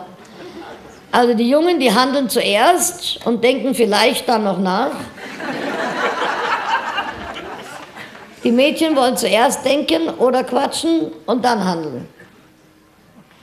Und die Frauen bequatschen die Männer die ganze Zeit, auch in der Schule. Das ist ein optimaler Lernweg für Mädchen, aber ein ganz beschissener für Jungen. Und den zwingen wir ihnen auf. Das ist unfairst. Unfairst. Also wenn Sie dafür sorgen wollen, dass Sie eine Generation von völlig unfertigen jungen Männern heranziehen, die sich nichts zutrauen, die nur wissen, dass sie Arschlöcher zu sein scheinen, die auf nichts mehr Bock haben und die einen unerhörten Hass kriegen auf die Gesellschaft, weil sie im tiefsten Inneren wissen, dass man sie betrogen hat, dass man ihnen ihr ganzes Leben versaut, dann machen sie so weiter wie bisher. Viel Glück. Und Deutschland machen wir es genauso. Das ist das Problem der Industrienationen. Die müssen begreifen, dass das Industriezeitalter vorbei ist. Da ging das noch. Und je länger wir brauchen, desto schlimmer. So, das war die Bewegung. Dann haben wir Fragen, Fragen stellen, Fragen beantworten, Rätselraten und so weiter. Das ist ein Neuromechanismus. Mehr davon wäre sehr wichtig. Imitationslernen. Wann passiert denn Imitationslernen? Nehmen wir mal an, Sie wollen Wurzel ziehen vermitteln. Nehmen wir an, wir haben einen Lehrer, der es gut meint. Der steht dann an der Tafel, dann macht er ein Beispiel, dann löscht er das weg, dann macht er vielleicht ein zweites Beispiel mit einer neuen Zahl. Ja, was soll denn der Scheiß? Sie müssen zehnmal dasselbe Beispiel durchrechnen mit derselben Zahl. Und beim sechsten, siebten, achten Mal verstehen einige erst, worum es überhaupt geht. Nicht, wenn sie die Zahl austauschen, während der die Methode noch gar nicht kapiert hat. Sie haben zwei Variablen, die Methode und die Zahl, und sie wechseln beide gleichzeitig aus in der zweiten Runde. Wie sollen denn die das kapieren, für die das völlig neu ist? Das kapieren nur die, die schon ein bisschen was vorgerechnet haben, weil sie gerne rechnen, denen das schon mal begegnet war, die schon eine Ahnung haben, die Schnelldenker. Das ist ein Drittel maximal, zwei Drittel lassen sie wild hängen. Solange sie annehmen, Mathematik ist eine Frage des Talentes und der Neigung, sagen sie, naja, die haben halt keine Neigung für Mathematik. Vielleicht sonst besser in Englisch. Aber daran liegt es. Und wenn Sie keine Lust haben, das zehnmal zu machen, es gibt immer einige, die schon ein bisschen weiter sind als die anderen. Dann rechnen Sie es einmal durch und dann lassen Sie von den Kindern den einen oder anderen dieselbe Zahl. Sie können sogar drei nebeneinander stellen. Die rechnen alle mit derselben Zahl. Die Klasse sitzt da und verfolgt das. Wie das ein bisschen schneller, ein bisschen langsamer hier parallel läuft. Das sind Dinge, die sind heiß. Oder Sie nehmen Ihr Handy und das wird jetzt gefilmt. Einer der Kinder filmt das, dann stellen sie das ins Intranet oder schicken das jedem per E-Mail oder wie immer sie das wollen. Und dann kann der neuronal Langsame das öfter angucken. Dann sagen sie, morgen machen wir da weiter. Und dann wird es interessant, wenn ich die Berechnung kapiert habe, dann sozusagen, was passiert, wenn ich eine andere Zahl einsetze. Jetzt wird das spannend. Aber nicht, wenn Sie mit der neuen Zahl anfangen. Ich habe doch keine Ahnung, worum es geht. Das ist so, wie wenn Sie nach Vaters Hut mit allen möglichen Genitiven kommen und ich weiß noch immer nicht, wovon Sie reden und was Sie da machen. noch ein Beispiel, noch ein Beispiel, noch ein Beispiel. Ich habe keine Ahnung, was Sie wollen. Wie soll ich das denn kapieren, wenn ich lauter unbekanntes Zeug höre? Imitation. Wann dürfen Kinder imitieren? Wir haben unseren Lernberg hochgehoben und wir haben an der, dieser Ecke hier haben wir die Spiegelneuronen. Sie können auf meiner Hauptwebseite birkenbild.de in die Textschublade gehen, da finden Sie einen Artikel über Spiegelneuronen, den hatte ich in der FAZ, Frankfurter Allgemeinen Zeitung. Da können Sie das in Ruhe nochmal nachlesen mit den Spiegelneuronen, wenn Sie letztes Jahr nicht dabei waren. Das ist angeboren, das ist phänomenal leichtes Lernen, davon passiert so wenig. Oder nehmen wir noch ein Beispiel. Was uns vorgelebt wird, leben wir nach. Welches bildungsferne Kind kann bis zum Alter von 15, 17, 20 Jahren irgendwann mal irgendeinen Menschen mit Begeisterung, mit Lust ein Buch lesen sehen? Daheim bestimmt nicht und in der Schule in all seinen Schuljahren auch nicht. Da gibt es nur Musslesen. Ist das nicht schlimm? Wie wollen wir den Leser machen aus denen? Dann kommt der nächste PISA-Test, dann regen wir uns auf, dass sie nicht lesen können. Ja, diese Materialien, die da zum Musslesen vorgelegt werden, die sind ja meistens auch nicht wert, gelesen zu werden. So. Dann, wir brauchen Vergleiche, Analogien, Gleichnisse, damit lernen wir phänomenal. Passiert auch in der Schule viel zu wenig. Es gibt einen deutschen Kabarettisten, der heißt Pispers. Pis Pispers, gell? Vorname? Volker. Volker, so ist es. Besorgen sich die CD, die heißt zum Beispiel bis neulich. Zwei CDs. Der Mann, der bringt immer wieder phänomenale Vergleiche. Da wird einem wirklich klar, worum es geht. Auf dieser bis neulich, das war jetzt, das ist jetzt, was weiß ich, zehn Jahre, zwölf Jahre her. Da haben sich die Deutschen so aufgeregt, wie teuer das ist mit der Einigung und diesen Sonderzoll, den wir zahlen müssen für die Ossis und so weiter und so weiter. Und dann hat er mal verglichen, was kostet ein Gefangener pro Jahr, was kostet ein Ossi pro Jahr. Ja, und dann sagt er, das ist also einsperren ist billiger. Oder zu dem Tarif könnten wir die nicht einsperren. Und dann sagt er, wenn Sie dachten, die Ossis sind teuer, die Bergleute sind teuer und die Bauern. Und dann rechnet er vor, wie viele Ossis wir durchfüttern könnten für die Bergbauern, für die Bergleute und die Bauern. Also durch diese Vergleiche, wenn ich das in Zeitlupe mal durch, kriegen Sie ein Gefühl für die Größenordnungen, von denen wir hier reden. Oder äh, der neue Gehirnforscher Nur, ne, namens Nur. Wie heißt der mit Vornamen, der nur? Dieter. Dieter auch? Auch Dieter. Dieter nur? Ja, das kann sein. Dieter nur? Kabarettist. Kabarettist? Dieter. Dieter nur, so. Der hat also neulich festgestellt, ja, wegen der 500 Milliarden, die wir jetzt den Banken in den Rachen schmeißen in Deutschland, hat er gesagt, das ist so schwer vorstellbar, nicht? Dann hat er gesagt, also wenn eine Million in Geldscheinen dieser oder jener Denomination so viele Zentimeter hoch ist, wie hoch sind dann diese 500 Milliarden? Und dann kommen wir auf 50 Kilometer. Ja? Und wenn ich jetzt hinzufügen darf, dass ab 10 Kilometer die Luft so dünn ist, dass sie sie nicht mehr atmen können und ab 30 beginnt der Weltraum offiziell. Wir schmeißen das Geld nicht nur mit vollen Händen zum Fenster raus, sondern direkt in den Weltraum.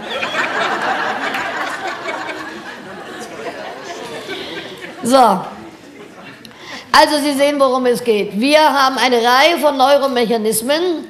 Dann haben wir eine erlernte Nichtbenutzung, weil die Schulsysteme in der Vergangenheit es hervorragend verstanden haben, die zu umgehen, die quasi gelähmt zu machen. Und die müssen wir wieder aktivieren. Was meinen Sie, was in kürzester Zeit dann passiert? Und das Spannende ist, dass alle profitieren. Die Lehrer profitieren, wenn sie uns von den leuchtenden Augen ihrer Schüler erzählen. Die Schüler profitieren und natürlich die Eltern. 80 Prozent aller Streitigkeiten zu Hause haben mit Schule zu tun. Sie retten Ehen. Sie retten ganze Familien, wenn dieser Frust aufhört. Das ist, das ist es, worum es geht. So, jetzt. Wir haben einen großen Frageblock noch vor uns. Wie, wie, wie lange dürfen wir jetzt? Wir haben, weil wir um 13 Uhr anfangen, bin ich immer eine, eine raus. Jetzt geht es offiziell bis Habe ich? Offiziell. Wir haben ja noch den Lehrerblock. Wer ist im Lehrerblock drin? Gegenfrage, wer ist nicht drin? Okay. Dann verrate ich Ihnen, was Sie versäumen. Der Lehrerblock besteht, also letztes Jahr haben wir die Kotztüten verteilt, da bestand er aus äh, der Diagnose, wie wir die Kinder kaputt machen sozusagen. Heute möchte ich Ihnen an einer Reihe von Best-Practice-Beispielen zeigen, was möglich ist. Das ist nachher im Lehrerblock, also sehr hoffnungsvoll sozusagen. Dann gehen wir jetzt in den Frageblock für den ersten Teil des Seminars und im Zweifelsfall überziehen wir einfach etwas, damit alle Fragen vom Hauptblock gestellt werden können. Einverstanden? Dann brauchen wir ein Mikrofon. Den mache ich mal aus momentan wegen der Hitze. Im Notfall mache ich ihn wieder an. So. Wenn du hinten bleibst mit deinem Mikrofon, hier kommt eine Frage, schwarz-weiß gestreift, da ist auch ein Mikrofon. Zu Ihrer Information, ich höre die Fragen hier in einem kleinen Kästchen, ich kann sie also nicht orten. Deswegen muss ich sie immer sehen, ehe Sie fragen. Also ich sehe, wer Sie sind. Bitte. Gut, also mich hat Ihr Beispiel mit dem Zeichnen und den Vögeln stark beeindruckt. Und mein Problem ist jetzt, ich bin Sprachlehrerin, aber die Schüler lernen ja nicht nur Deutsch, Englisch und Französisch, sondern auch noch Geschichte, Geografie, Chemie, Physik. Es ist gar nicht möglich, das Wissen, das sie laut Lehrplan haben sollten, wirklich zu erreichen in diesen neun Schuljahren. Wie kann ich dem entgegenwirken? Also zum einen, es gibt ja schon Schulen, wo Dinge anders laufen, wo sich zum Beispiel die Lehrer absprechen, statt dass jeder seinen eigenen Scheiß macht. Dann könnten Sie im Englisch- oder Französischunterricht zu den Themen arbeiten, die der Geschichtsmensch in Geschichte gerade hat. Ja, warum müssen Sie vielleicht über Sizilien ein Kapitel haben in Ihrem äh, äh, Französischbuch? Was weiß ich, ein Abschnitt über Sizilien und in Geschichte ist aber gerade ähm, Türkei dran oder so ähnlich. Kann man das nicht besser koordinieren? Das ist also die eine Frage. Und dann kann man aus Schulbüchern, aus den Ländern, nehmen wir mal an, es wäre die Türkei, dann kann ich also aus der, aus äh, Schulbüchern aus anderen Ländern mir Beiträge über die Türkei holen, aus dem Internet zum Beispiel, und die im Unterricht als flankierende Maßnahme einsetzen und das Material nehmen für die nächste Prüfung. Verstehen Sie, da haben wir halt vielleicht eine Lektion im Buch nicht geschafft am Ende, aber wir haben immer wieder Themen bezogen. Das ist das Wichtigste, was Sie machen müssen. Sie müssen Themen bearbeiten, nicht Fächer. Themen. wenn Sie Themen haben, dann fallen die Dinge aus den verschiedenen Bereichen. Nehmen wir mal an, wir haben in der Geschichte die Zeit, wo die, okay, warum haben die Mongolen, die haben ja ein, das größte Weltreich errichtet, das es je gab auf diesem Planeten, hat zwar nur 120 Jahre gehalten, aber es war das größte. So, warum haben die Mongolen diese unglaublich raffinierte Ritterschaft der Europäer besiegen können? Zum Beispiel. Das sind strategische, das sind waffentechnische, das sind alle möglichen äh, Aspekte, über die wir reden können. Und das ist unerhört spannend. Und dann zu sagen, okay, warum haben in anderen Kriegen der gegen den oder wo war, was war der, der Knackpunkt, warum die gewonnen haben? Was hat ihnen den Vorsprung verschafft? Und dann beginne ich in diesen Kreisen zu denken. Und wenn ich zum Beispiel Geschichte, wenn wir die, die, die, die Zeitachse uns aufzeichnen und die wichtigsten Zahlen und dann kleine Skizzen machen, was da los war, die Krönung und da hat er den umgebracht und so weiter. Und dann dazwischen ein paar Stichpunkte schreiben. Indem jeder diese, diese Zeitachse selber kreiert, hat er aktiv was getan, der merkt sich die meisten Sachen, die er eingetragen hat.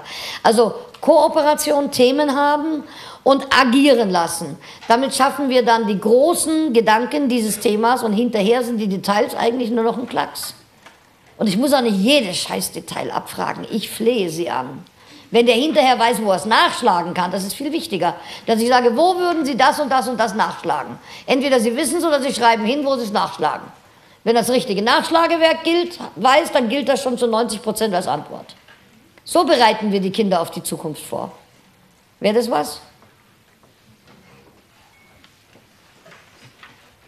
Bei Sprachen will ich noch was sagen. Die ganze Birkenbill-Methode, also da ist ja Frau Hohenstein dann Ihr Ansprechpartner hier für die Schweiz. Wenn Sie Lieder nehmen, wenn Sie ein Lied dekodieren, also zum Beispiel ähm, Nationalhymnen. Die meisten Leute haben keine Ahnung, wie bluttriefend die französische Marseillaise ist. Wenn die dann in Olympia da stehen nicht, und stolz die Marseillaise hören, wenn sie jetzt wissen, was in jeder Zeile da gemeuchelt und gemordet wird, nicht wahr? Die chinesische ist noch schlimmer. So, wenn wir also zum Beispiel Nationalhymne nehmen, und wir dekodieren jedes Wort und wissen, was die tatsächlich da sagen, dann können wir hinterher zum Beispiel das Pseudodeutsche singen, das ist wahnsinnig lustig. Da muss man dann genau gucken, wie viele Silben, nicht? Die, die Wortzahl, die Silbenzahl ist ja nicht identisch. Dann muss man manchmal wie im Schlager ha, ha, ha, ha, nicht ein Wort, weil wir noch drei Silben haben oder umgekehrt, die drei Silben da reinhauen. Wir singen das in Pseudoform, zum Beispiel das Besame Mucho, ne, wenn ich das so mache. Küss mich, Küss mich viel, da, da, da, da, da, da. Hinterher weiß besser, mir besser, mir Mutsche, was ich da singe. Also wenn ich das im Pseudodeutsch singe und dann anschließend in der anderen Sprache singe, am Ende haben die das Lied vollkommen im Kopf mit allen grammatikalischen Wendungen etc. So macht Sprachenlernen Spaß und so bleibt sehr viel hängen. Ja, dann könnte man natürlich auch mal rappen lassen. Also wenn Sie jetzt mit einer englischen Gruppe zum Beispiel sich verzahnen. Und die Engländer rappen was über diesen, was weiß ich, Krieg, den sie gerade haben, und sie rappen was für die, die Deutsch lernen. Dass man sich da austauschen kann. Dann hat man eben was wirklich zeitgenössisch. Das finden die viel geiler als den Text im, im Historiebuch. Und dann kann man am Ende den Geschichtstext auch noch lesen. Und dann ist das meiste bereits vertraut und dann ist das ganz spannend. Okay? Ja. So, wo geht's weiter?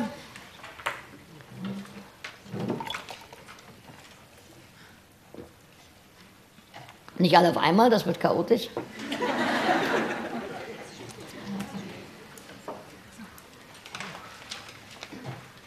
Ja, Sie kriegen ein Mikrofon.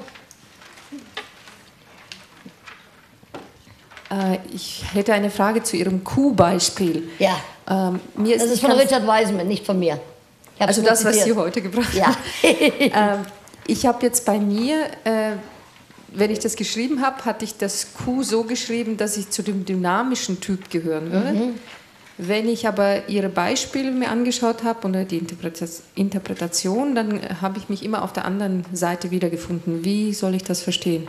Also zwei Dinge sind hier wichtig. Erstens, es ist zum einen auch stimmungsabhängig. Man ist nicht in jedem Tag in derselben Stimmung, sodass wenn Sie es öfter machen, kann sein, dass Sie unterschiedliche ähm, Kuhs malen werden. Das andere ist, es gibt, sagen wir mal, 100 wichtige Aspekte in meinem Leben. Und die, die jetzt hier angesprochen worden sind, sind vielleicht gerade die 20, in denen sie zufälligerweise mehr auf der Seite liegen, weil wir sind ja Mischtypen. Wir sind ja nicht hundertprozentig da oder da.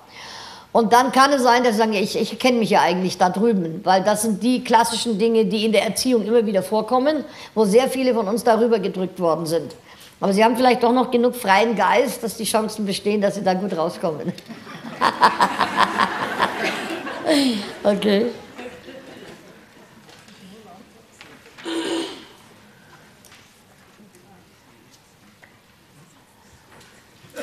Ich hätte gerne gewusst, wie ich der Lehrerin meiner Tochter beibringe, dass ich nicht wünsche, dass sie Grammatikregeln lernt. Das können Sie nicht. Das können Sie nicht. Das ist das Schlimme. Lehrer nehmen von Eltern in der Regel nichts an. Äh, zum Beispiel Dr. Böhm ist ja unser Lehrerausbilder und der ist ja selber Lehrer gewesen und von dem akzeptieren Sie das.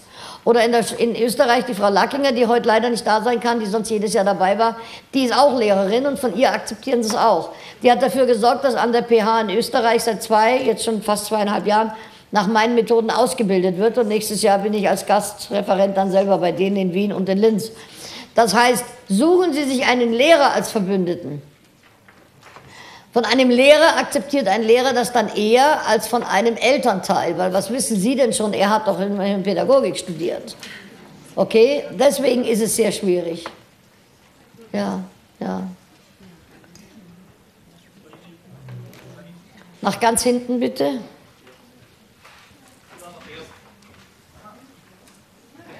Jetzt habt ihr den längeren Weg genommen. Doch wieder zurück, also doch von hier. Kann ich reden? Ja. Jetzt ja, hat jemand anders das Mikrofon. Sekunde. Der Herr wartet immer noch, gell? Also er kriegt es anschließend. Jetzt? Ja. Ja. Ähm, mich interessiert, wie bei einem System wie Schule, das eigentlich von Männern gemacht wurde, wie da eine Schule für Mädchen entstehen konnte. Ja, das ist sehr interessant. Äh, die, die Grundschule ist für Männer ja uninteressant. Am Gymnasium dominieren ja die Mannsbilder. Die Grundschule Kindergarten, Grundschule hat man den Frauen überlassen, weil man nicht begriffen hat, wie wichtig das ist. Zum Beispiel in Japan und in den skandinavischen Ländern verdient ein Grundschullehrer wesentlich mehr als ein Gymnasiallehrer, weil er die Kinder dazu bringen muss, lernen zu lernen. Und wenn sie dann der, im Gymnasium sind, können sich weitgehend schon selber unterweisen, dann ist der Lehrer mehr Coach für die Lücken, die bleiben. Wir haben es noch umgekehrt in Deutschland, in der Schweiz ist es ähnlich. Das müsste sich noch ändern. Und da die Männer den Frauen die Grundschule ziemlich überlassen haben in Deutschland, viel eher als bei Ihnen, aber bei Ihnen hat er auch schon eingesetzt, der Prozess, sind dann zunehmend Frauen drin, die meinen es ja gut. Die können ja nur ihren eigenen Stil leben. Sie kennen ja keinen anderen zunächst. Wenn einem nicht klar ist, Männer und Frauen sind unterschiedlich und das ist eben nicht Polemik, sondern das ist wirklich, darüber reden wir eben nächstes Jahr nochmal ausführlich. Also so hat sich das entwickelt. Das hat damit zu tun, wie wertschätzen wir das. Wenn wir das wertschätzen, dann müssen wir eben gleichermaßen, Männer und Frauen, für diese Dinge zuständig sein. Wir sollten wirklich in vielen Fächern die Kinder trennen. In Sprache sollten wir sie trennen, weil sie völlig anders vorgehen. In Sprache, Sprachen, zumindest am Anfang. Wir sollten sie trennen in Rechnen, Mathematik, Naturwissenschaften. Wir brauchen sie nicht zu trennen in Sozialkunde, in Erdkunde, in Geschichte, in Musik. Brauchen wir sie nicht zu trennen. Sie müssen auch lernen, miteinander umzugehen und soziale Skills, äh, Skills, also Social Skills, soziale Kompetenz zu erwerben. Aber in den Fächern, wo ihre Denke einfach völlig unterschiedlich ist. Es kann ein männlicher Lehrer, kann drei jungen Klassen unterrichten. Der geht in die eine rein und sagt, okay, das und das so und so, probiert das mal aus. Dann geht er in die nächste Klasse, gibt eine Anweisung, sagt, probiert das mal aus, geht in die dritte Klasse, gibt eine Anweisung, geht wieder in die erste, sagt irgendwelche Fragen. Der ist immer nur punktuell dabei und dann probieren die selber rum. Mädchen möchten vorher genau wissen, was auf sie zukommt, ehe sie bereit sind, sich zu äh, sich zu bewegen. Also muss die Lehrerin die ganze Zeit da sein. Außerdem brauchen Mädchen die Beziehung zur Lehrerin. Ja, Jungen brauchen das nicht. Die haben die Beziehung zu ihren Kameraden, die ist für sie viel wichtiger als die zu, dem Lehr zu der Lehrperson. Die Person von, die Person in der weißen Bluse, sie mich gerade zurückgelehnt, können Sie sich wieder vorlehnen? Danke, sonst sehe ich die Dame hinter Ihnen nicht. Danke. Also, das ist der Grund. Und in dem Maße, in dem wir das wertschätzen und uns über diese Dinge bewusst sind, können wir jetzt dann andere, andere Zeichen setzen. Ja, in Deutschland ist es ganz schlimm. Wir haben in den Hauptschulen zum Teil nur noch Frauen. Das heißt, die Jungen sind umgeben von Weibern. In der Schule, wenn sie einkaufen gehen, die Kassiererin, äh, wenn sie, wenn sie äh, in ein Lokal gehen, die Bedienungen, die sind überall umgeben von Frauen. Die Männer verstecken sich ja in Firmen und gehen auf Geschäftsreise. Die sind ja unsichtbar. Also es ist katastrophal. Wie soll ein Junge denn eine, eine Psyche ausbilden, eine männliche? Geht ja gar nicht. Ja. Der Herr kriegt jetzt eins, ja.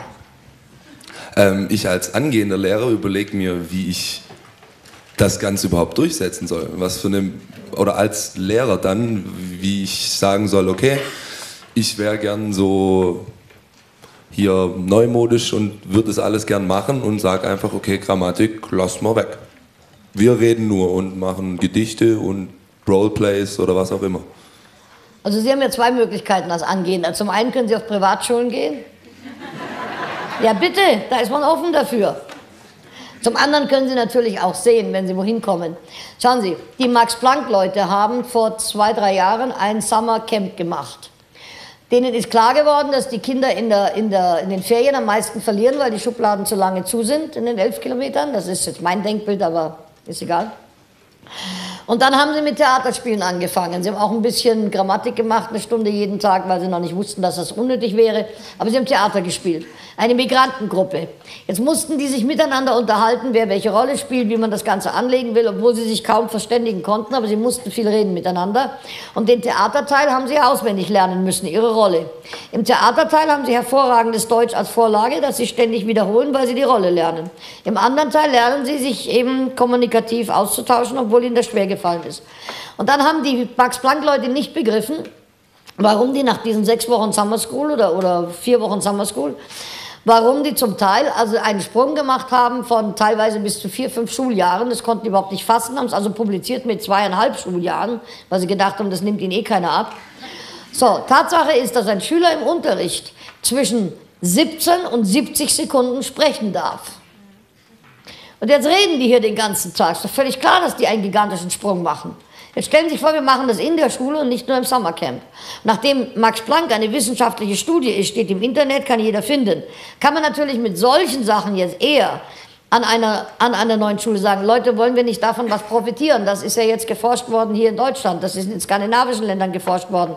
Können wir nicht neue Wege gehen? Das sehen Sie ja beim Vorstellungsgespräch. Und wenn man offen ist dafür, gehen Sie in die Schule und wenn man zu ist, gehen Sie an eine andere. Sie haben ja noch die Wahl. Lassen sich jedenfalls nicht verbraten von einem System, von dem wir wissen. Schauen Sie, was ich meiner Kanzlerin vorwerfe, ist, dass sie nach China geht und redet über Menschenrechte, ohne sich zu kümmern, wie wir die Menschenrechte der Kinder mit Füßen treten in der Schule. Das ist die Entscheidung jedes Lehrers, ob er nicht irgendwo das, das ver, ver, die, die Last verringern kann. Ja, weil ich überlege mir eben, dass eigentlich ja eine ganz normale Schule sozusagen das erste Umfeld wäre, um sowas dann zu versuchen durchzusetzen. Ja. Und nicht eben auf dann zu sagen, okay, ich will das so und so machen, dann gehe ich auf eine Privatschule, wo das Umfeld sowieso schon besteht im Prinzip. Wenn Sie eine finden, es passieren ja immer mehr Pilotmodelle. Ich meine, man begreift ja schon langsam, aber sicher, dass man aufwachen muss. Ich bin ja erst 38 Jahre am Würgen, nicht? Das ist ja immerhin ja, lang genug gewesen. So. Das heißt, die Chancen, dass Sie heute eine Schule finden, die da mitspielt, dass man das als Pilotprojekt oder wie auch immer betituliert, dass man das mal zwei, drei Jahre ausprobieren kann, nur die Deutschen, die machen ein Pilotprojekt nach dem anderen, ziehen keinerlei Konsequenzen aus ihnen und ziehen nichts in die Regelschule rüber. Das heißt, jede Regelschule hat die Möglichkeit, zu einer Pilotschule zu werden, aber es kann nicht verallgemeinert werden. Das ist wirklich unglaublich.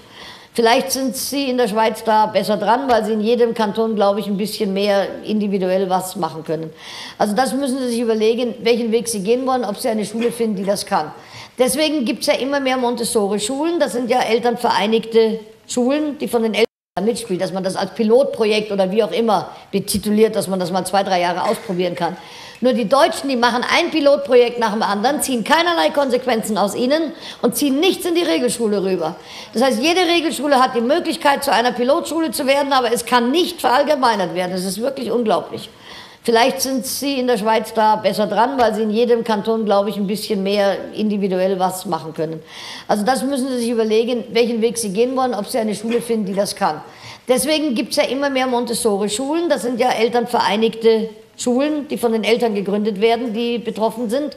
Vielleicht, dass das auch ein Mittelweg wäre. Das keine elitäre, teure Schule, aber es ist eine von Eltern, die was tun wollen für ihre Kinder. Ja. Danke. Mhm. Und bitte noch etwas ganz Wichtiges. Sie können mit Nachhilfe sehr viel machen. Nehmen wir mal an, Sie haben Kinder in einem Schulsystem nach altem Stil und da ist irgendein Rektor, der nicht aufgeben will. Ne, ich gebe nicht auf, ich gebe nicht auf. So, wenn Sie zwei, drei Stunden am Nachmittag mit den Kindern in einem anderen Stil arbeiten können, über ein Semester hinweg, äh, Kohn hat in seinem Buch Schools Our Children Deserve unter anderem Studien gehabt, die nachgewiesen haben, dass wenn Kinder länger als ein halbes Jahr mit neueren, besseren Methoden konfrontiert worden sind, dass sie ihr Leben lang davon profitieren. Wenn sie es aber nur drei, vier Wochen lang erlebt haben, dann nützt es nichts, dann verpufft das wieder.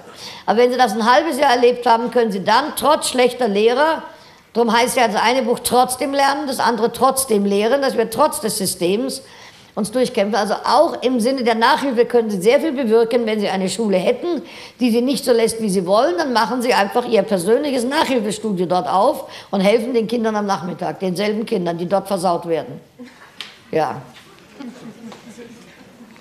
Mikrofon in die erste Reihe vom hinteren Teil. Äh, da. zuerst, ja. Also wir haben eine kleine Diskrepanz. Letztes Jahr, als wir hier waren, haben Sie auch davon gesprochen, dass die Kinder Zeit brauchen zum Heranwachsen. Ja, Einfach heranwachsen. mal heranwachsen. Und äh, heute war die Sprache davon, äh, mehr Zeit in der Schule zu verbringen. Und ich denke, für mich wäre das ganz wichtig, in was für einer Schule. Weil in dieser Schule jetzt, also in unserer Regelschule, habe ich eher das Gefühl, lieber weniger Schule, ja, ja, ja, weil recht. meine Kinder oder ich sage jetzt mal viele Kinder, die bildungsnah sind, Anführungszeichen, da schnellen die Punkte in den Ferien hoch. Ja. Und ich denke einfach die, die Idee, mehr Schule, da ist für mich einfach sehr wichtig, für, von was für eine Schule wir reden. Ja, ja, deswegen habe ich ja letztes Jahr auch über die Amish geredet und dass die eben weniger Schule machen, damit die Kinder auch heranwachsen können. Äh, das Mehrschule, der, der heutige Teil, der bezieht sich mehr auf die Bildungsfernen, die zu Hause nichts geboten bekommen. Also wenn wir bessere Schule hätten und mehr Schule, dann würden die da mehr profitieren, als wenn die zu Hause rumsitzen, wo gar nichts passiert. Was wir ja merken in den Ferien, wie sie absacken, wenn sie nur zu Hause sind. Die würden also von mehr Schule profitieren. Die Bildungsnäheren müssen nicht unbedingt mehr Schule haben, da haben Sie völlig recht. Ja, ja. Es ist beides richtig, je nachdem. Ja, genau. Mhm. Wir hatten hier eine Meldung gehabt. Bloß noch kein Mikrofon? Ja. Hier da hinten, die äh, erste Reihe im Balkon. Ja, sie hat sich doch schon gemeldet, Mensch. Gleich. Können wir die Dame in Weiß in der ersten Reihe am Balkon nehmen? Die hatte sich davor schon gemeldet gehabt. Dankeschön. Äh, ich hoffe, ich kriege es hin, meine Frage äh, klar zu formulieren, weil sie für mich selbst noch nicht so ganz klar ist. Probieren wir es mal. Ähm, ich habe in letzter Zeit einiges gelesen, so im Bereich, ähm, also Sie kennen vielleicht die Literatur The Secret, also ja, ja, ja. So in der esoterischen Ecke vielleicht ein bisschen ähm, angesiedelt. Ähm, also das, was wir denken, prägt uns. Ja. Ähm, ich musste jetzt bei dem Beispiel von der Frau Collins, die Sie äh, uns ja so wunderschön hier präsentiert haben, vielen Dank nochmal auch ganz speziell dafür. Ich finde das unglaublich beeindruckend. Äh, da sieht man, sie hat damit gearbeitet. Also das ist ihr in Fleisch und Blut drinnen, dieses, was du von dir glaubst, das bist du. Also unser Denken prägt äh, unser Leben und das, was wir sind, das, was wir denken. Ja. Äh, jetzt Meine Frage an Sie. Sie haben ja hier, ähm, also Sie beschäftigen sich mit knallharter naturwissenschaftlicher Forschung, im, also Gehirnforschung. Ähm, und auf der anderen Seite haben wir diese esoterisch, nenne Ja, ich mal, ja. äh, dieses flottierende überall irgendwo Wissen um dieses, ja, was wir denken, also die, die Macht unseres Denkens. Äh, können Sie sagen, ob das wirklich schon zusammenfließt? Ja, ja, ja, ja, ist schon zusammen. Und ist schon zusammen. Ist schon zusammen.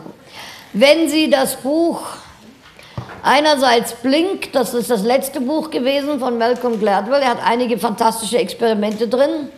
Zum anderen das Buch Influencer ist noch nicht auf Deutsch da, oder doch? Im Herbst. Heißt also noch Influencer, das klingt wie Influencer, hat aber keine Ahnung, ist nicht die Grippe. Das sind die Menschenbeeinflusser von pa Patterson heißt er und fünf anderen, gell? Patterson plus andere. So, diese beiden Bücher, das kommt dann im Herbst auf Deutsch, haben sehr viele, wo sitzen Sie? Experimente. Zum Beispiel, wir haben eine Gruppe von schwarzen Studenten, die einen Test machen werden und die bekommen einen Fragebogen vorher und den füllen sie aus. Und eine Hälfte hat in dem Fragebogen unter anderem drin, dass sie ankreuzen müssen ihre Rasse, also in dem Fall äh, Afro-American. So. Die andere Gruppe hat das nicht drin. Oder wir haben eine Gruppe von Frauen vor einer Mathematikprüfung und eine äh, Fragebogen und eine Hälfte muss vorher ankreuzen, dass sie weiblich ist und die andere Hälfte nicht. Ähm, oder wir haben Leute, die vor einer Prüfung stehen. Das sind jetzt natürlich äh, Tests, die prüfungsähnlich ablaufen, ähm, wo man schwierige Fragen aus Trivial Pursuit ihnen stellt, Wissensfragen, ähnlich wie Millionärsquiz.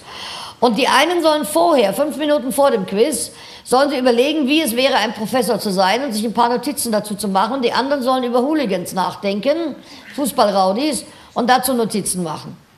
Die Auflösungen sind unglaublich. Im ersten Fall, wenn ein Schwarzer ankreuzen muss, dass er schwarz ist, ist er um mindestens eine Note schlechter, als wenn er das nicht erinnert wird daran, dass er zu dieser Minderheit gehört, der man nichts zutraut. Wenn Frauen ankreuzen müssen, dass sie weiblich sind, dasselbe für die Matheaufgaben. Äh, wenn ich an einen Professor denke, dann gehe ich quasi in höhere geistige Regionen, dann schneide ich wesentlich besser ab, auch mindestens eine Note. Können Sie weiterlaufen? Sie sind genau vor der Dame, mit der ich spreche. Vielen Dank.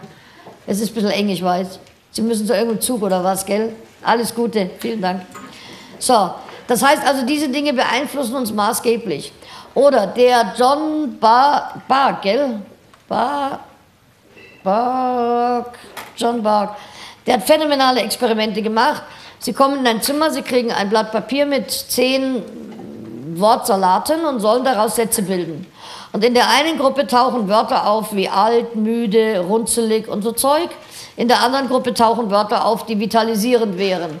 Und dann, ähm, wenn das Experiment fertig ist, sagt der Experimentleiter, wenn Sie bitte so lieb werden, den Zettel im ersten Stock abgeben, also zum Raum raus, den Gang entrunter, äh, äh, entlang, den Lift und dann gleich erste Türe rechts neben dem Lift. Und in dem Moment, wo der die Tür aufmacht, gibt er ein Signal. Und neben dem Lift auf einer Bank sitzt einer angeblich Zeitung lesend und startet die Stoppuhr. Und dann äh, misst man, wie lange der zum Lift braucht, bis er auf den Knopf drückt. Und man beobachtet die auch. Und die brauchen wesentlich länger, wenn sie alt und runzelig und den Scheiß hatten. Und sie gehen also mit hängendem Kopf und sinkenden, nicht schlurfen sie dahin. Und die anderen gehen vitalisiert und, und, und äh, so weiter dahin. Das heißt, was wir unmittelbar davor hatten, beeinflusst uns maßgeblich. Weshalb jemand wie Collins, der ständig positiv beeinflusst, ständig eine, eine positive, unmittelbare Vergangenheit schafft, aus der heraus wir jetzt schöpfen können. Ähm, Es ist noch ein so bahnbrechendes Experiment, ist egal, mir jetzt gerade. Also das heißt, was unmittelbar davor gewesen ist, beeinflusst mich sehr stark. Und ja, ja, ja, das ist auch noch eins, das steht beim Arieli drin. Das steht beim Arieli drin, glaube ich. Also, ich bin ziemlich sicher beim Arieli. Also, wir haben eine Gruppe, die einen Test macht, bei dem man bescheißen kann. Es ist also so eingerichtet, dass ein Teil der Gruppe bescheißen kann. Das sind in der Regel 30 Prozent, die das machen. Machen wir schnell zu Ende und dann sind sie weg. Dankeschön. Alles Gute. So.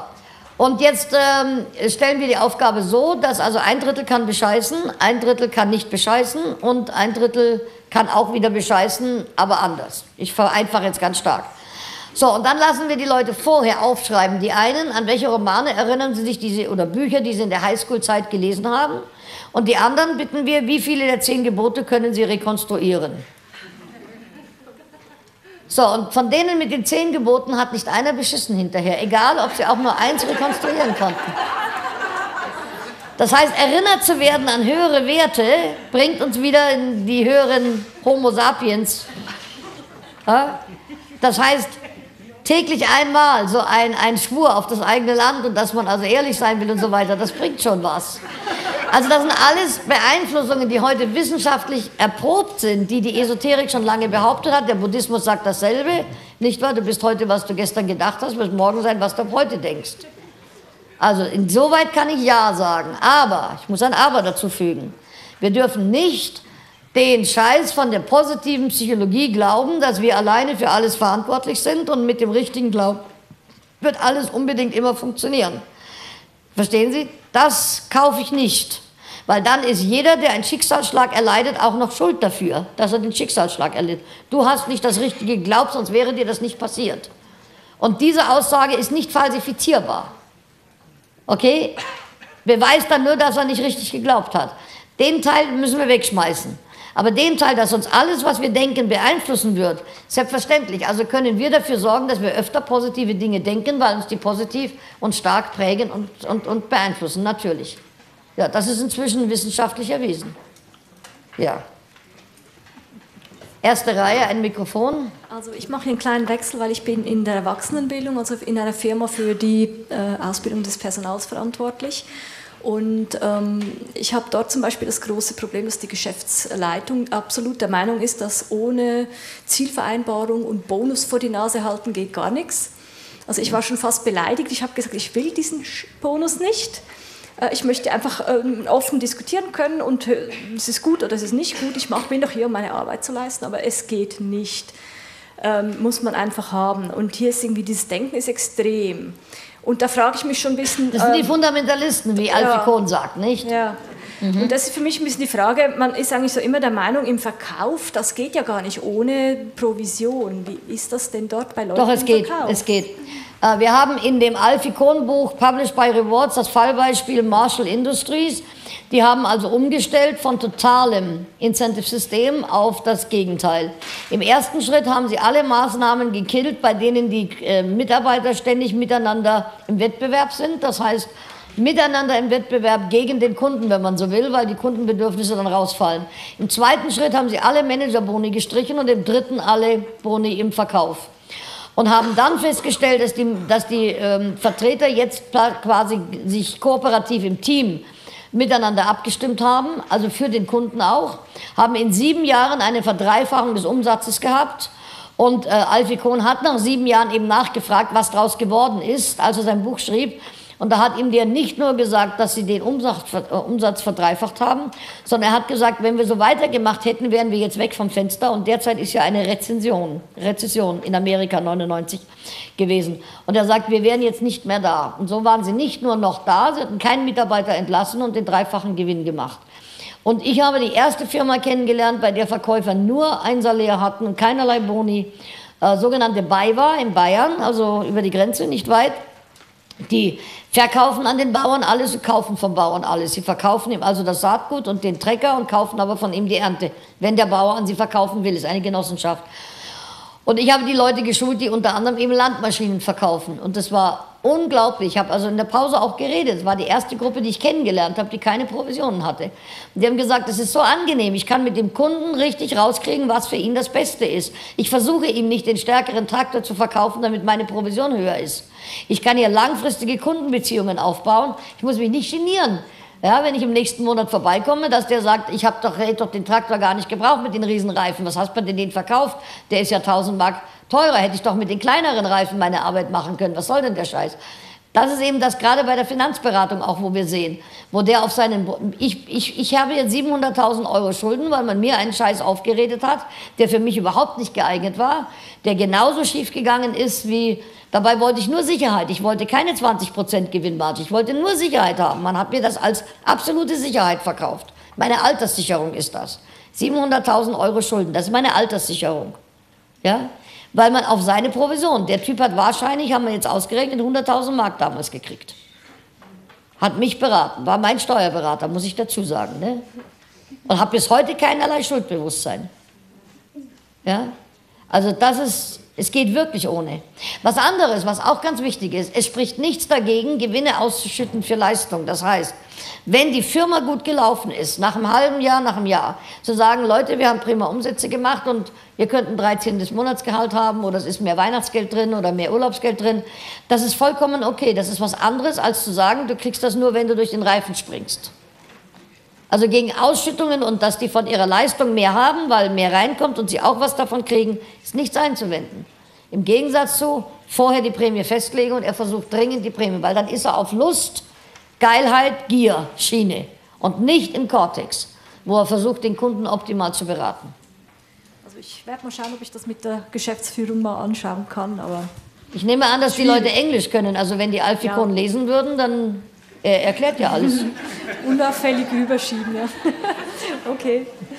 Ist so ein dickes Buch, damit können Sie die erschlagen. Unauffällig rüberschieben geht nicht. so. Und vielleicht noch für den äh, Lehrerblock äh, ist noch meine Frage, vielleicht interessiert das andere auch, inwieweit ist das anwendbar dann auch ebenso für die in der Erwachsenenbildung oder geht es eher wirklich um, um Schule, Grundschule und solche Themen? Nein, es ist überall anwendbar, wo gelernt wird. Und es gibt ja auch in der Erwachsenenbildung Systeme, die Noten verteilen und so weiter, weil die Leute aus Unfähigkeit oder Unwissen gar nicht wissen, dass es auch anders gegangen wäre. Also es ist für alle Bereiche wichtig, über die Dinge nachzudenken. Finde ich schon. Ich glaube, Sie wollen das Mikrofon. Sie kriegen es. Gleich nach hinten durchreichen. Die Dame in Schwarz-Weiß.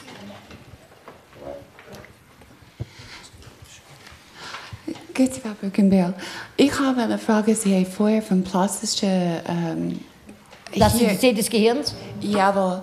Und dann reden wir auch von emotionellen... Können Sie reinsprechen?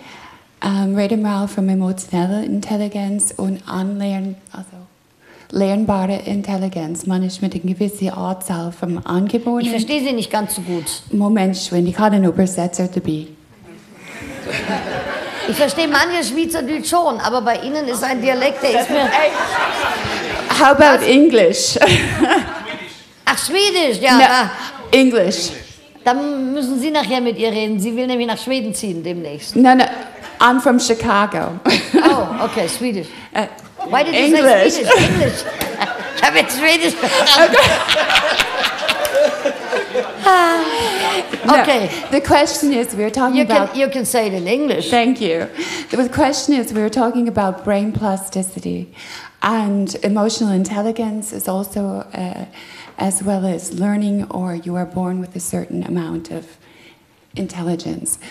Uh, the question is if you've had uh, damage to your emotional intelligence and your um, you don't have the best experience can you is there also plasticity in the emotional intelligence or is there you just forget it you go around you you know you know what i'm trying to say there's there's the emotional part of learning and there's also the realistic part of learning and often you have blocks in learning due to whatever are those to be circumvented or are those to Can be... you tell me what kind of block you're thinking about? I mean, you have something in your mind, something concrete. Can Correct. You, can you mention what kind of a block you're talking about? Well, in general, I see youth that go through a system and uh, with the examples that you're saying, and there seems to be long term disabilities or inabilities. I'm not sure it's a disability, I make a difference between inability and disability. Seems to be an inability to get over certain shocks from learning experiences. Yes, okay. Sometimes, also manchmal, jetzt sage ich die Antwort auf Deutsch, einverstanden? Sie fragt, inwieweit Schädigungen, die im emotionalen Bereich liegen, äh, reparabel sind, nachdem wir wissen, dass andere im physischen Bereich reparabel sind. Taubeffekt. Geht das auch im emotionalen Bereich? Da muss ich sagen, eindeutig Jein. Es gibt einige, es gibt einige, die sind reparabel und andere, die sind nicht reparabel, zum Beispiel. Oder sie sind noch nicht reparabel. Man hat also in der Vergangenheit gesagt, wenn jemand äh, zum Beispiel gezwungen ist, sagen wir mal 50 Mal sich die Hände zu waschen, diese Zwangshandlungen, hat man gesagt, da kann man absolut nichts machen. Inzwischen gibt es Wege, dabei etwas zu machen. Oder Phantomschmerzen gelten als unheilbar. Es hat einer ein Bein verloren, hat Phantomschmerzen, gilt als unheilbar. Sind jetzt heilbar mit einem Spiegel. Das heißt, wir setzen ihn vor einen Spiegel und spiegeln ihm vor, er hätte das Organ, in dem die Phantomschmerzen sind. Okay, und heilen jetzt sozusagen hier und, und, und beenden damit die unsagbare, unständig wiederholbare Kette, äh, die eben diesen Kreislauf, der ständig diese Schmerzen wieder ausgelöst hat.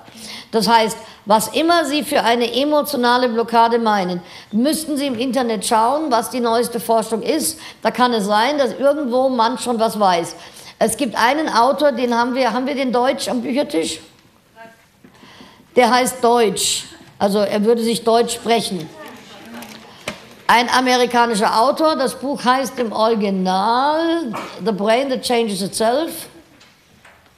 Im Deutschen heißt es äh, ähm, Neustart im Kopf. Uh, the Brain That Changes Itself.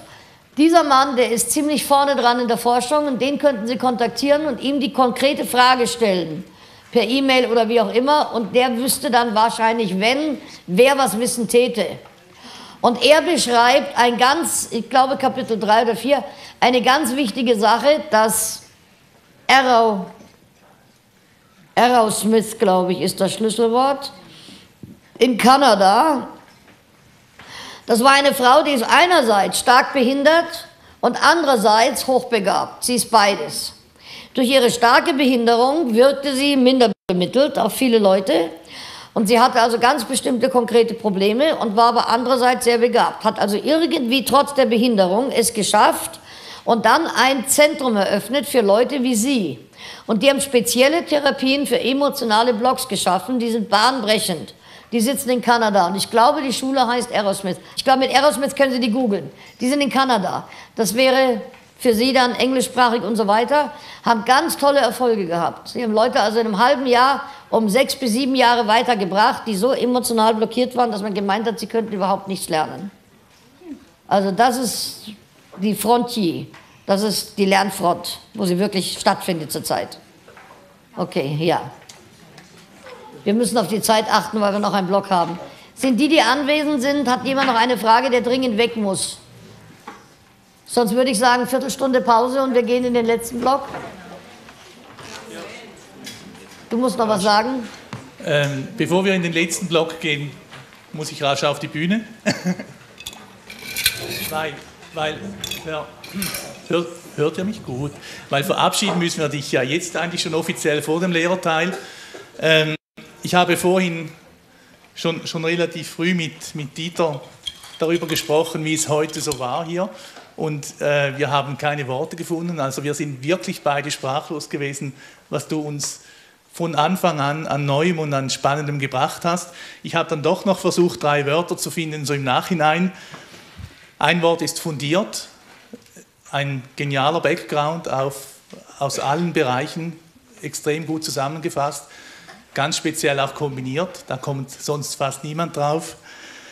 Ähm, anschaulich auch, die vielen Metaphern, wie wir es uns gewohnt sind. Es waren aber viele neue Metaphern auch. Und beeindruckend, in diesem Sinne hoffe ich natürlich auch, auch, dass Sie beeindruckt sind, wie ich es auch bin. Und ich gratuliere dir natürlich zum neurologischen Beweis deiner Kükeli-Theorie. äh, viele Theorien von Vera F. Birkenbiel wurden Aber die letzten Jahre neurologisch, ja, ja wurden bewiesen. Viele Leute brauchen erst den Beweis. Es ist eigentlich viel einfacher. Man kann es einfach probieren und dann wird man merken, dass es einfach auch funktioniert. Es funktioniert einfach. Und es funktioniert einfach. Tun Sie es einfach. Gut. Äh, ein großer.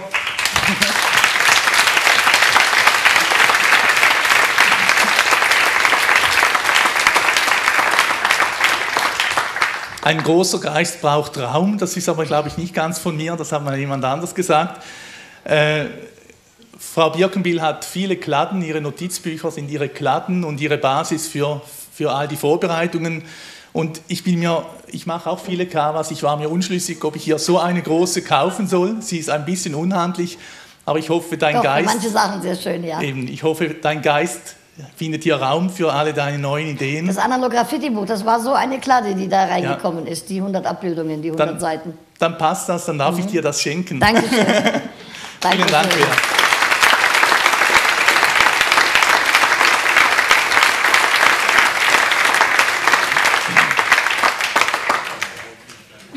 Erstmal von mir auch herzlichen Dank. Bin ich da? Ja. ja. Äh, ah, wie meinst Also, du hast gehört. Vielen Dank von mir auch. Ich, mir bleibt jetzt noch auch den Helfern allen Danke zu sagen.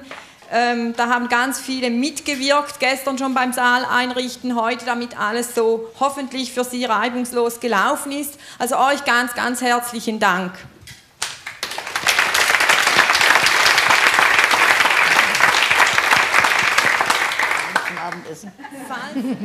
Und äh, einen ganz speziellen Dank, das vergesse ich sonst jedes Jahr, vor allem noch an meine Frau. Sie hat das alles eigentlich zu 99 Prozent selber organisiert, vorbereitet und es ist schön, wenn so viele Gäste kommen und es sich in dem Sinn auch lohnt, so einen Aufwand zu betreiben. Ich danke Ihnen fürs Kommen, ich danke dir für diese Riesenarbeit, die du, mit der du uns ermöglicht hast, Vera wieder live hier zu haben. Dankeschön.